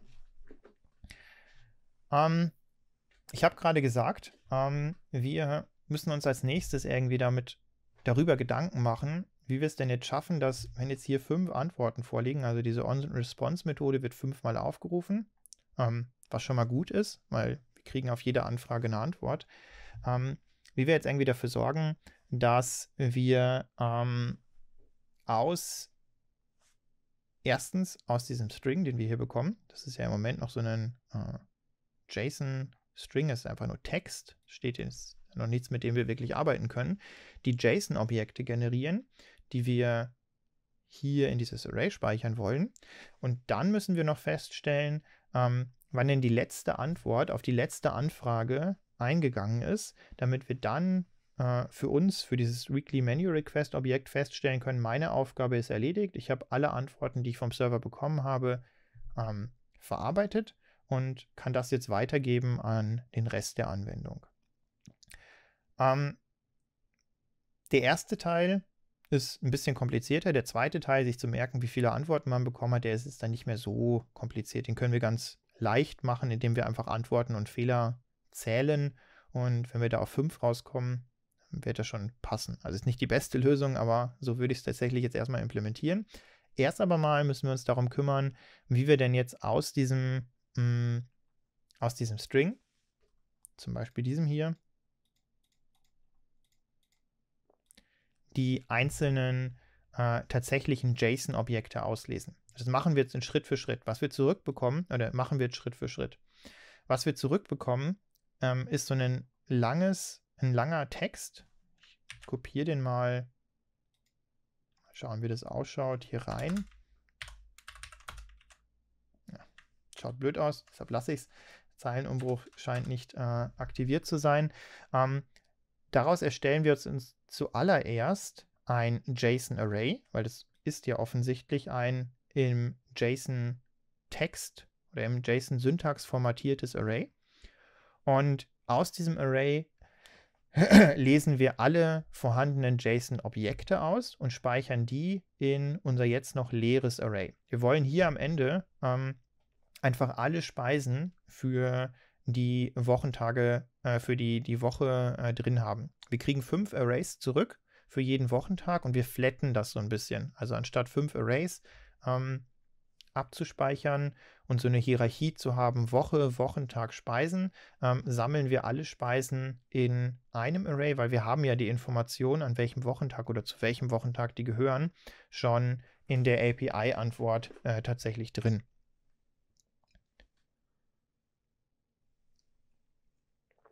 Das heißt, erster Schritt, ich gehe in die Methode, in der ähm, ich vom Server die Antwort erhalte. Und ich erstelle mir auf der Basis des Strings, den ich da zurückbekomme, die Möglichkeit.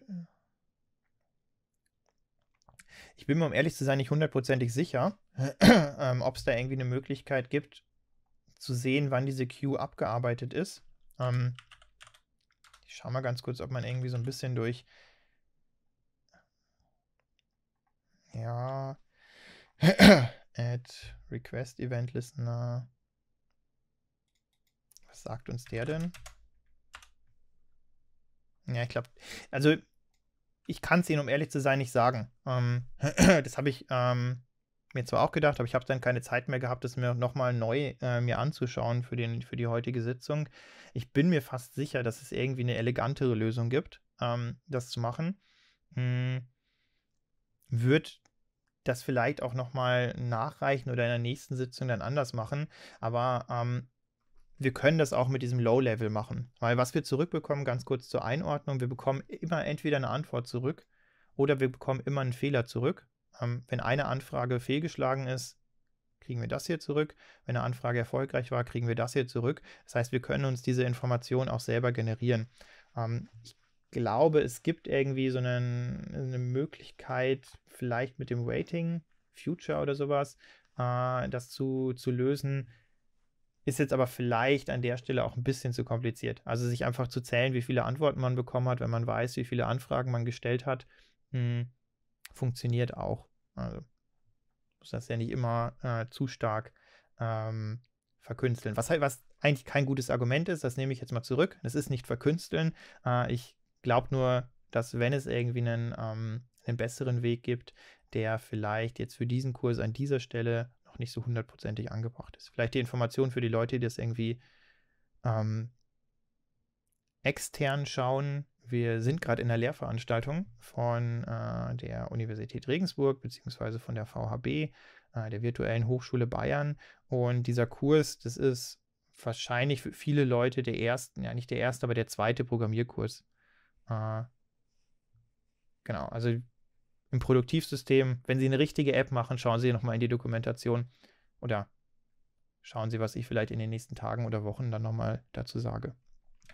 Jetzt aber äh, erstmal was, was glaube ich unstrittig ist. Wir erstellen uns aus ähm, den ein, diesem String, den wir hier zurückbekommen, erstmal das, das eigentliche Array. Und was soll das repräsentieren? Das sind die Results for one day. Jedes Mal, wenn wir für einen Tag die, die Sachen angefordert haben, kommt diese OnResponse-Methode und wir erstellen uns ein neues JSON-Array, ähm, in dem der String oder auf der Basis des Strings, den wir da bekommen, das ist ja immer ein Array, wir müssen jetzt hier mit ein paar Exceptions umgehen, ähm, denn da kann was schief laufen. Wir könnten ja irgendwie einen String übergeben, der gar nicht valide ist, ähm, also irgendwas, was nicht JSON formatiert ist. Und deshalb ähm, müssen wir darauf achten, dass wir entsprechende Fehler abfangen. In unserem Fall der, dass eben äh, eine JSON-Exception ausgelöst wird, wenn wir zum Beispiel an dieser Stelle einen Text übergeben, der nicht in JSON formatiert ist, also kein valides JSON ist und den wir nicht umwandeln können in dieses JSON-Array. Wenn das aber klappt, dann können wir über diese Objekte, die in dem Array drinstehen, das sind dann solche Sachen hier, ähm, also diese einzelnen Einträge von dem Array, drüber iterieren. i ist gleich 0, i kleiner, ähm,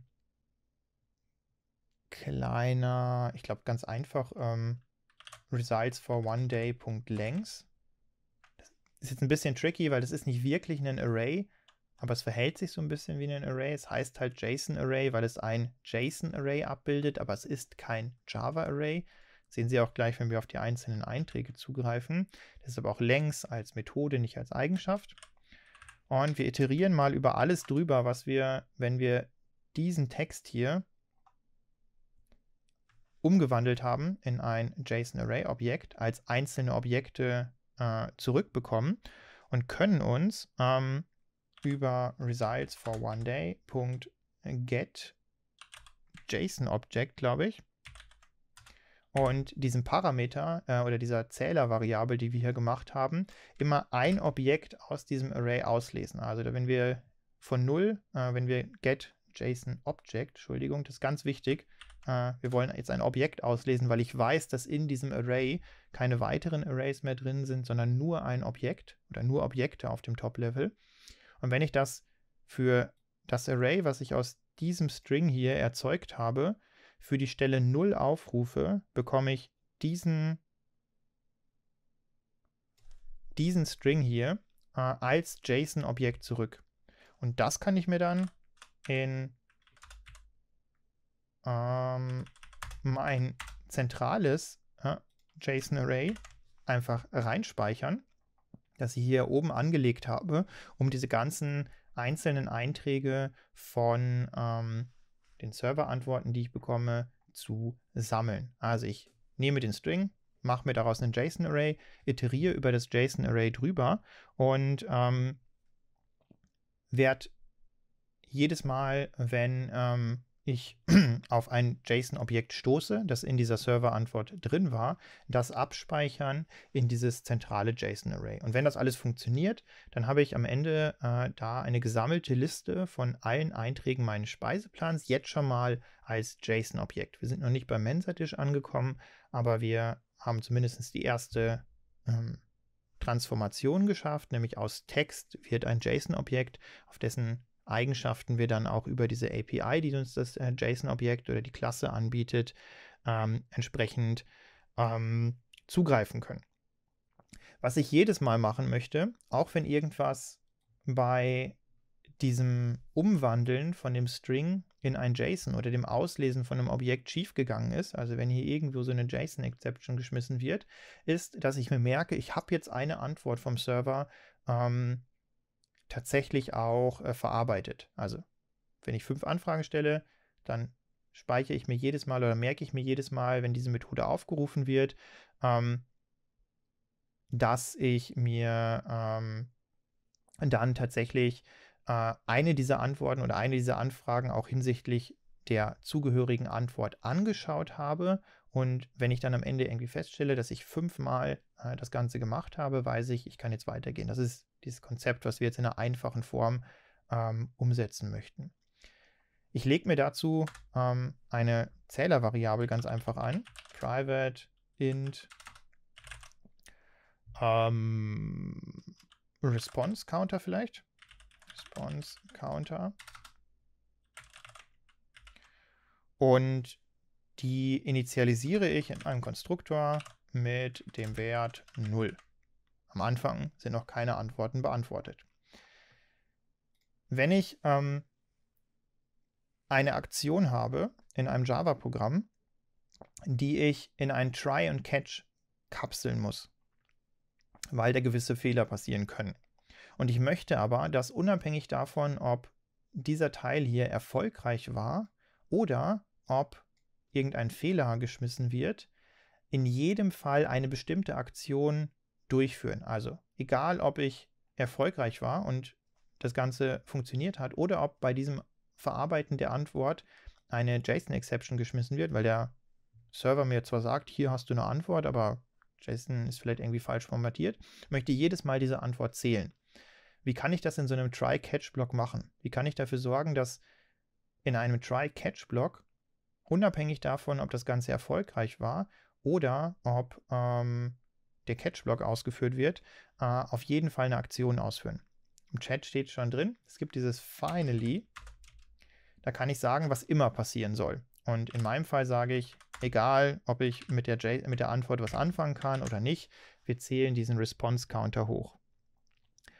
Und was ich machen muss, wenn hier eine Antwort vorliegt vom Server und wenn ich die gezählt habe, ist zu schauen, ähm,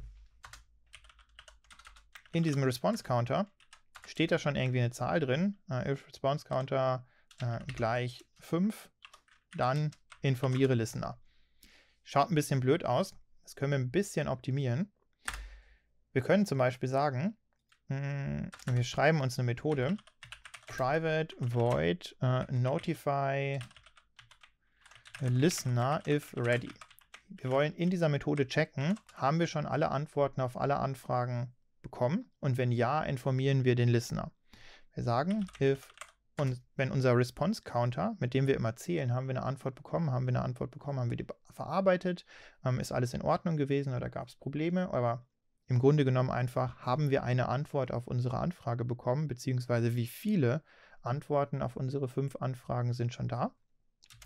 Wenn dieser Wert ähm, dem entspricht, was wir auch an ursprünglichen Anfragen ähm, gestellt haben, dann wollen wir den Listener, der sich im Konstruktor von diesem Request ja gemeldet hat, als die Stelle, die informiert werden soll, wenn die Antworten vorliegen, dann auch entsprechend über die Interface-Methode oder Listener-Methode informieren. Woher wissen wir, wie viele Anfragen wir gestellt haben? Hm. Wir können jetzt sowas reinschreiben, wir können irgendwie eine Konstante anlegen, aber wir können auch einfach sagen, äh, wir wissen ja, wir haben dieses Weekday-Enum verwendet, um die Anfragen zu initialisieren. Wir sind über dieses Values Array äh, iteriert und haben für jeden der Einträge eine Anfrage erstellt. Und wenn wir uns davon dann die Länge anschauen, dann wissen wir auch, wie viele Anfragen wir ursprünglich gestellt haben. Und damit können wir relativ sicher sein, dass ähm, wir hier den Teil der if-Bedingung, ähm, der, der Block, äh, der Body nur ausführen, wenn wir genau so viele Antworten gezählt haben im Response Counter, wie wir auch Anfragen gestellt haben. Indirekt über dieses Weekday Array, weil das auch bei dem Erstellen der Anfragen verwendet wird. Und in dem Fall sagen wir dem Listener, hier sind deine Antworten oder hier ist das Ergebnis und das Ergebnis ist dieses Array, was wir jedes Mal hier drin befüllt haben. Und wenn wir dann diesen Response Counter hochgezählt haben, rufen wir die Methode auf, schauen jedes Mal nach, ob wir schon fertig sind und geben die Sachen dann raus. Ähm, in welchen Fällen funktioniert das noch nicht? Also welchen Fall habe ich jetzt noch nicht beachtet? Ich stelle fünf Anfragen. Wenn ich ein positives Ergebnis bekomme, zähle ich den Response Counter hoch. Wenn ich fünf positive Ergebnisse bekommen habe, informiere ich den Listener. Eine Sache fehlt noch. Genau, wir fangen den Fehler noch nicht ab ähm, oder wir berücksichtigen nicht, dass es ja auch sein kann, dass eine Anfrage ins Leere geht oder dass wir einen Fehler vom Server bekommen und müssen uns entsprechend auch überlegen, was wir machen, wenn wir eine fehlerhafte äh, Antwort bekommen oder wenn der Server uns sagt, ich kann deine Anfrage nicht beantworten. ich mache es mir jetzt ganz leicht. Ich zähle einfach diese ähm, fehlerhaften Antworten auch als Antworten. Dann wird halt eine dieser Anfragen nicht beantwortet. Und ich mache genau das Gleiche, was ich auch ähm, in der positiven ähm, Antwort mache. Ich zähle diesen Response Counter hoch. Äh, okay, eine meiner HTTP-Anfragen wurde nicht richtig beantwortet. Macht nichts. Ähm, Pech gehabt. Ah, ist natürlich kein, äh, kein, keine gute Idee für eine produktive App, weil jetzt einfach Daten fehlen. Aber ich kann das jetzt an dieser Stelle äh, eh nicht ändern, wenn ich vom Server eine falsche Antwort bekomme. Dementsprechend ignoriere ich das jetzt einfach mal ähm, von meinem Elfenbeinturm der universitären Lehre, in der ich mich um solche Dinge manchmal nicht kümmern muss und äh, zähle diesen Response Counter hoch und ähm, schaue einfach, dass wenn aus der Kombination an positiven Antworten und fehlerhaften Antworten insgesamt hervorgeht, dass alle Anfragen auf die eine oder andere Art und Weise beantwortet sind, wir äh, dann entsprechend hier diese ähm, Listener-Methode aufrufen und jetzt nach außen geben, dass wir fertig sind. Ich würde gerne eine kleine Sache noch einbauen, ähm, die so ein bisschen absichert oder die, die ein Problem, ich habe ja gerade gesagt, ich kümmere mich nicht um alle Probleme, aber um ein paar Probleme möchte ich mich kümmern, ähm, die die ein Problem abfängt, was durch dieses Zählen von äh, diesen, diesen Antworten jetzt ähm, ausgelöst wird. Oder anders gesagt, wenn ich das so mache, ähm, dann muss ich irgendwie dafür sorgen, dass diese Startmethode oder dass dieser Vorgang, der hinter der Startmethode steht, nur ein einziges Mal ausgeführt werden kann. Weil wenn ich diese Startmethode aufrufe, und dann mir diese Requests vorbereite und die abschicke und dann nochmal die Requests ähm, abschicke oder nochmal diese Startmethode aufrufe, dann generiert Volley fünf neue Requests. Und dann wird plötzlich, nachdem der erste, die erste Anfrage oder noch bevor die erste Anfrage vom, äh, von dieser zweiten Welle beantwortet wird, äh, plötzlich schon das Ergebnis rausgegeben, weil irgendwie dieser Response Counter ja dann schon den Wert 5 hat, möglicherweise. Ähm, das heißt, was ich hier implementiere, ist so ein Single-Use-Object. Also das kann ich eigentlich nur für einen Request verwenden.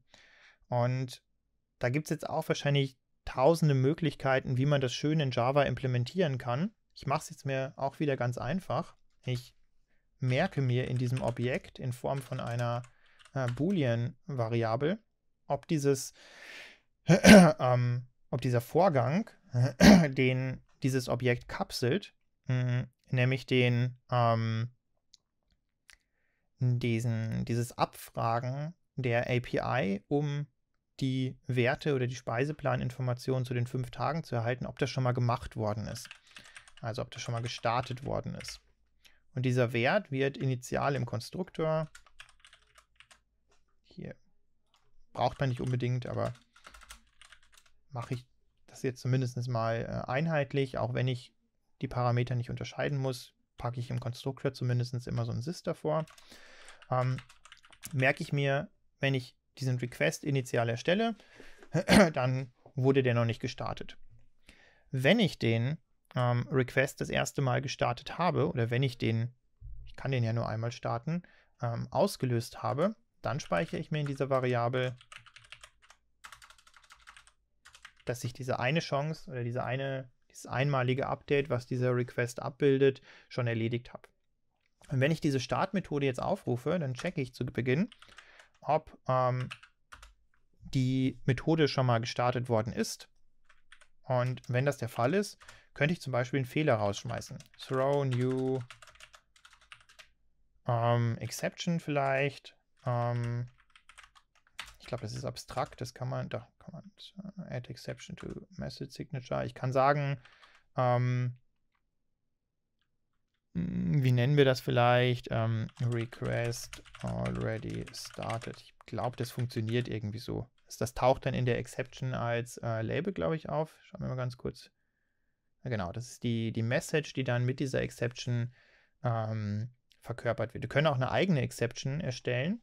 Könnten das noch ein bisschen spezifischer machen. Wir sagen, wir wollen aus dieser Klasse heraus diese besondere Fehlersituation, dass irgendjemand versucht, einen Request, der schon mal gestartet worden ist, nochmal neu zu starten, ähm, Den wollen wir abbilden in Java durch eine eigene Fehlersituation. Das könnten wir zum Beispiel machen mit sowas. Ähm, request already started exception extends exception. Viel mehr müssen wir gar nicht tun. Also wir erzeugen eine eigene Exception oder wir definieren eine eigene Exception, die ähm, diese, diese Fehlersituation, dass versucht wird, diesen Request ein zweites Mal zu verwenden, äh, dass der äh, oder dass, dass, dass diese Fehlersituation, die diese Fehlersituation repräsentiert. Dann gibt unsere Start-Methode äh, genau eine solche Exception aus und die Stellen, die jetzt diesen, dieses Request-Objekt verwenden möchten, die äh, sind jetzt genötigt, äh, diese Exception entsprechend abzufangen. Also Fehlersituationen in Java kann man mit Exceptions abbilden und das ist jetzt so diese einfachste Variante, dass Sie möchten, dass äh, diese Start-Methode nur ein einziges Mal äh, tatsächlich ausgeführt wird, weil wir uns einfach merken, haben wir die schon mal ausgeführt und ähm, wir ändern diesen Zustand, wenn das erste Mal diese Start-Methode ähm, durchgelaufen ist oder die Queues entsprechend abgeschickt worden sind. Ähm, und dann müssen wir uns auch nicht mehr darum kümmern, dass wir hier irgendwie diesen Response-Counter zurücksetzen, dass wir das JSON-Array äh, zurücksetzen ähm, für die, die nächste Aktion. Wenn ich jetzt ein zweites Mal äh, meine Daten aktualisieren möchte, dann erstelle ich mir oder bin ich jetzt gezwungen, ein zweites Weekly Menu Request Objekt zu erstellen, was wieder bei Null anfängt und ähm, was dann durch das Verarbeiten von dieser Queue mit neuen Informationen gefüllt wird. Macht das für Sie ein bisschen Sinn? Oder ähm, sagen Sie, braucht man gar nicht? Und ähm, ich verstehe nicht, warum wir das jetzt gemacht haben. Schreiben Sie mal ganz kurz in den Chat, ob Ihnen irgendwie so halbwegs klar ist, warum ich jetzt irgendwie das absichern möchte, dass ich diesen Request nur, nur ein einziges Mal verwenden kann. Weil der, der beschreibt ja den Status von diesem Request, den State, mit auch den Antworten, äh, die darauf eingehen. Und wenn ich den sicher ein zweites Mal verwenden möchte, müsste ich alles, was ich von der vorherigen Anfrage weiß, also all die JSON-Objekte, die ich da gespeichert habe, den Response-Counter und so weiter, zurücksetzen. Und das spare ich mir jetzt einfach dabei. Wenn ich nochmal eine Anfrage stellen möchte, erzeug bitte ein neues Objekt. Ist das so halbwegs verständlich? Sind sie jetzt gar nicht mehr da im Chat?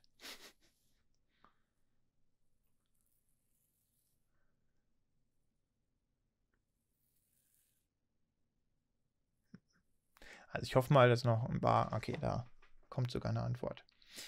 Ähm, lassen Sie uns heute noch eine Sache machen. Ähm, ich würde jetzt gerne diese, diese Stelle noch implementieren. Ähm,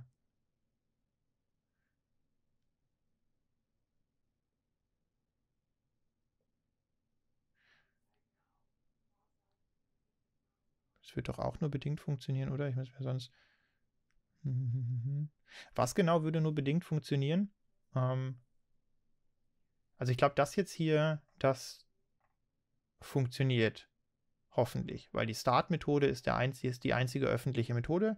Anders kann ich mit diesem Objekt nicht interagieren. Nichts davon ist sonst ähm, öffentlich. Ich kann natürlich irgendwie diese On-Error-Response-Methode aufrufen, weil ich die ja, da müsste ich es vielleicht auch nochmal abfangen, genau. Also da gibt es auch nochmal ein, zwei Stellen, weil ich hier diese Interface-Methoden ähm, implementiere. Das heißt, hier müssten wir auch nochmal diese Fallunterscheidung ähm, einbauen oder ein bisschen berücksichtigen. Aber ich glaube, wir gehen in die richtige Richtung. Aber ich glaube, Sie, ähm, also auch wenn Sie jetzt gerade schreiben, dass das in einem aktuellen Szenario funktioniert, ähm, gibt es, glaube ich, so ein paar Stellen, wo wir, wo wir Angriffspunkte hätten. Weil wenn ich weiß, dass dieser Weekly Menu Request bestimmte Interfaces implementiert, kann ich, wenn ich eine Instanz davon habe, ja auch selber diese Methoden zum Beispiel aufrufen, auch unabhängig von, von Volley. Und dann könnte ich damit ja indirekt auch noch hier dieses, ähm, dieses Verhalten, das Informationen nach außen geben, aufrufen. Aber ich kann zumindest nicht nochmal eine neue Queue starten. Ich glaube, das ist, ist die Quintessenz. Ganz toll ist es, wenn ich es mir jetzt anschaue, tatsächlich nicht. Egal. Ähm, lassen Sie uns eine Sache noch gemeinsam machen. Ich hätte gerne ähm, so eine zentrale Stelle, die jetzt diese ganze, dieses ganze Update ähm, von äh, dem Speiseplan anstößt und dann auch für die restlichen Teile meiner Anwendung bereitstellt. Und diese Stelle heißt Mensa Data Provider und ist natürlich wie alle Stellen unserer Anwendung wieder eine Klasse. Und diese ähm, Klasse hat eine Methode, die können wir anstoßen oder die können wir benutzen, um dieses Update anzustoßen. Und hier wird ähm, dieser Weekly Menu Request, den wir gerade eben erstellt haben, den wir implementiert haben, angestoßen. Das ist unser Update-Task. Und ich kurz überlegen, wie wir das am besten machen. Wir können ihn einfach hier erstellen. Wir brauchen dazu, Sie erinnern sich, ähm, wieder ein paar Informationen, nämlich ähm, ein Listener, ein Weekly Menu Request Listener und den Kontext der äh, Applikation, in dem das Ganze stattfinden kann, soll. Hier habe ich mir einen Rechtschreibfehler gegönnt. Provide, der soll es heißen, ein Provider für die Mensa-Daten innerhalb unserer Anwendung. Der ist unser äh, Listener für den Weekly Menu Request Listener. Also der bekommt mit, wenn äh, dieser ganze Vorgang erfolgreich war. Implementiert dementsprechend auch diese Interface-Methoden. Äh, oh, Implements, Entschuldigung, ähm, die wir, wenn wir mal reinschauen, hier implementiert haben. Wir wollen informiert werden von dem Weekly Menu Request Listener, wenn alle Anfragen erfolgreich waren, so ein JSON-Array zurückbekommen. Unser Data Provider, der stößt dieses Update an. Und was der noch braucht dafür, ist dieser Applikationskontext und dem die, diese Kontextinformation geben wir dem Provider mit, wenn wir ihn erstellen im Konstruktor. Kontext, Kontext. und speichern uns das in einer entsprechenden Variable. Hinweis für die Leute, die äh, extern zuschauen, Dependency Injection mit Dagger und sowas ähm, haben wir noch nicht gemacht. Deshalb dieser ganz klassische Weg, dass wir einfach den Objekten über den Konstruktor explizit die entsprechenden Informationen äh, mitgeben, die sie brauchen. Und ähm, in unserem Fall ist das der Kontext und der Listener, der informiert werden soll. Und dann starten wir diesen Update-Task, müssen das Ganze dann noch äh, in ein Try-Catch äh, packen, weil wir ja diese entsprechende Exception aus dem Weekly Menu Request rausgeben, wenn ähm, wir versuchen, hier ein zweites Mal äh, einen existierenden ähm, Request auszuführen. Und hier an dieser Stelle hier, an diesem JSON-Array, was passiert jetzt? Wir erstellen diesen Provider. Machen wir das mal in Ruhe hier. Ähm, wir erstellen uns einen Mensa Data Provider, sagen dem oder übergeben dem den Applikationskontext, damit er das an den Weekly Menu Request weitergeben kann, damit der Weekly Menu Request das an Volley weitergeben kann. Und wir bitten den darum, ähm, doch mal seine Daten zu aktualisieren. Der nutzt jetzt ähm, den Weekly Menu Request, um diese Anfragen an äh, unsere HTTP API zu erstellen und das Ganze zurückzugeben oder abzufangen zumindest. Rausgegeben aus dem Provider wird noch nichts. Und hier an dieser Stelle werden wir jetzt informiert, dass ähm, wir ein JSON-Array zurückbekommen, in dem alle Speisen, die es an dieser Woche in der Unimensa gibt, enthalten sind. Ähm, schauen wir mal, ob das funktioniert, so wie wir uns das vorstellen. Ähm, ich gebe einfach nur mal kurz aus, dass wir in dieser Methode sind.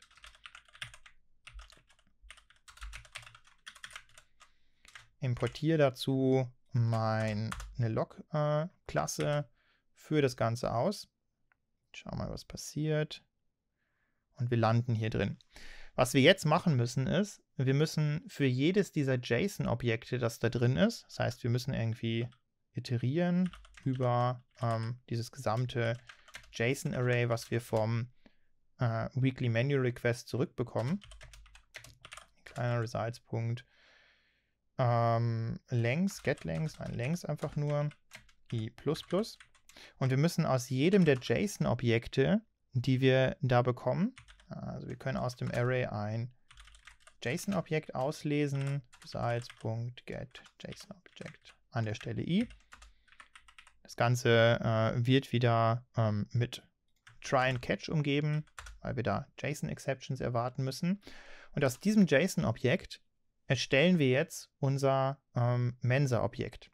Das letzte, was ich jetzt heute mit Ihnen machen möchte, ist äh, dafür zu sorgen, dass wir die Informationen, die wir brauchen, um so einen Mensa-Dish hier zu erstellen, ja, ehrlich zu sein, glaube ich, machen wir das lieber am, an einer, in einem zusätzlichen Stream. Es ist jetzt doch schon ein bisschen zwei Stunden, so viele Leute sind gar nicht mehr da. Ähm, ich sage jetzt ganz kurz, was der nächste Teil wäre und dann ähm, würde ich vielleicht einfach anbieten, wieder am Montag oder so äh, den zweiten Teil nochmal nachzuholen.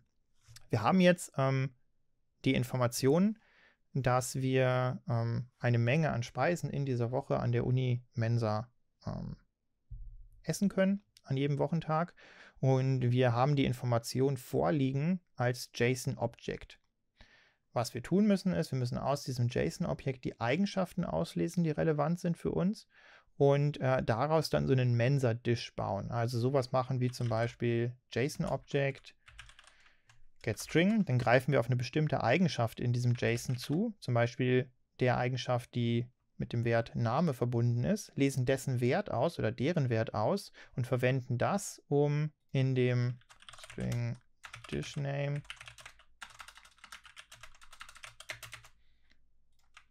in dem Konstruktor von unserem Mensa-Dish den Namen zum Beispiel zu setzen. Und ähnliche Strategien müssten wir jetzt tun oder anwenden, um die Kategorien und die ähm, entsprechenden Wochentage erst aus diesem JSON auszulesen, dann wahrscheinlich ein bisschen umzuwandeln und dann als Konstruktor äh, in dem Mensa-Dish verwenden. Das kann man dann auch vielleicht auslagern in eine extra Methode, sollte man vielleicht sogar tun, vielleicht diesem Mensa-Dish so eine Konstruktor-Methode übergeben, äh, implementieren, die ein JSON-Objekt übergeben bekommt und dann eine Instanz vom Mensa-Dish zurückgibt. Aber das wäre jetzt irgendwie der, der nächste Schritt.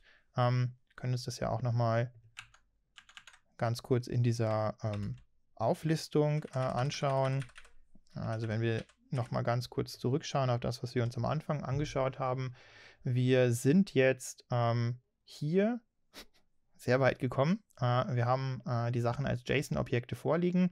Wir müssen jetzt daraus die Mensa-Dish-Instanzen äh, machen, damit wir das dann über diese weitere Kette an unser eigentliches View oder unser User-Interface weitergeben können. Das machen wir aber nicht mehr heute. Ähm, ich danke Ihnen für Ihre Aufmerksamkeit, äh, dass Sie so lange dran geblieben sind. Ähm, wir machen für die Leute, die es interessiert, äh, am Montag vielleicht einfach nochmal kurz ähm, den letzten Teil oder den zweiten Teil von dieser kleinen, diesem kleinen Anwendungsbeispiel ähm, und ähm, beschäftigen uns dann nächste Woche Freitag, wenn Sie möchten, wieder mit einem neuen Thema. Das war's jetzt aber. Vielen, vielen Dank und haben Sie eine schöne Zeit.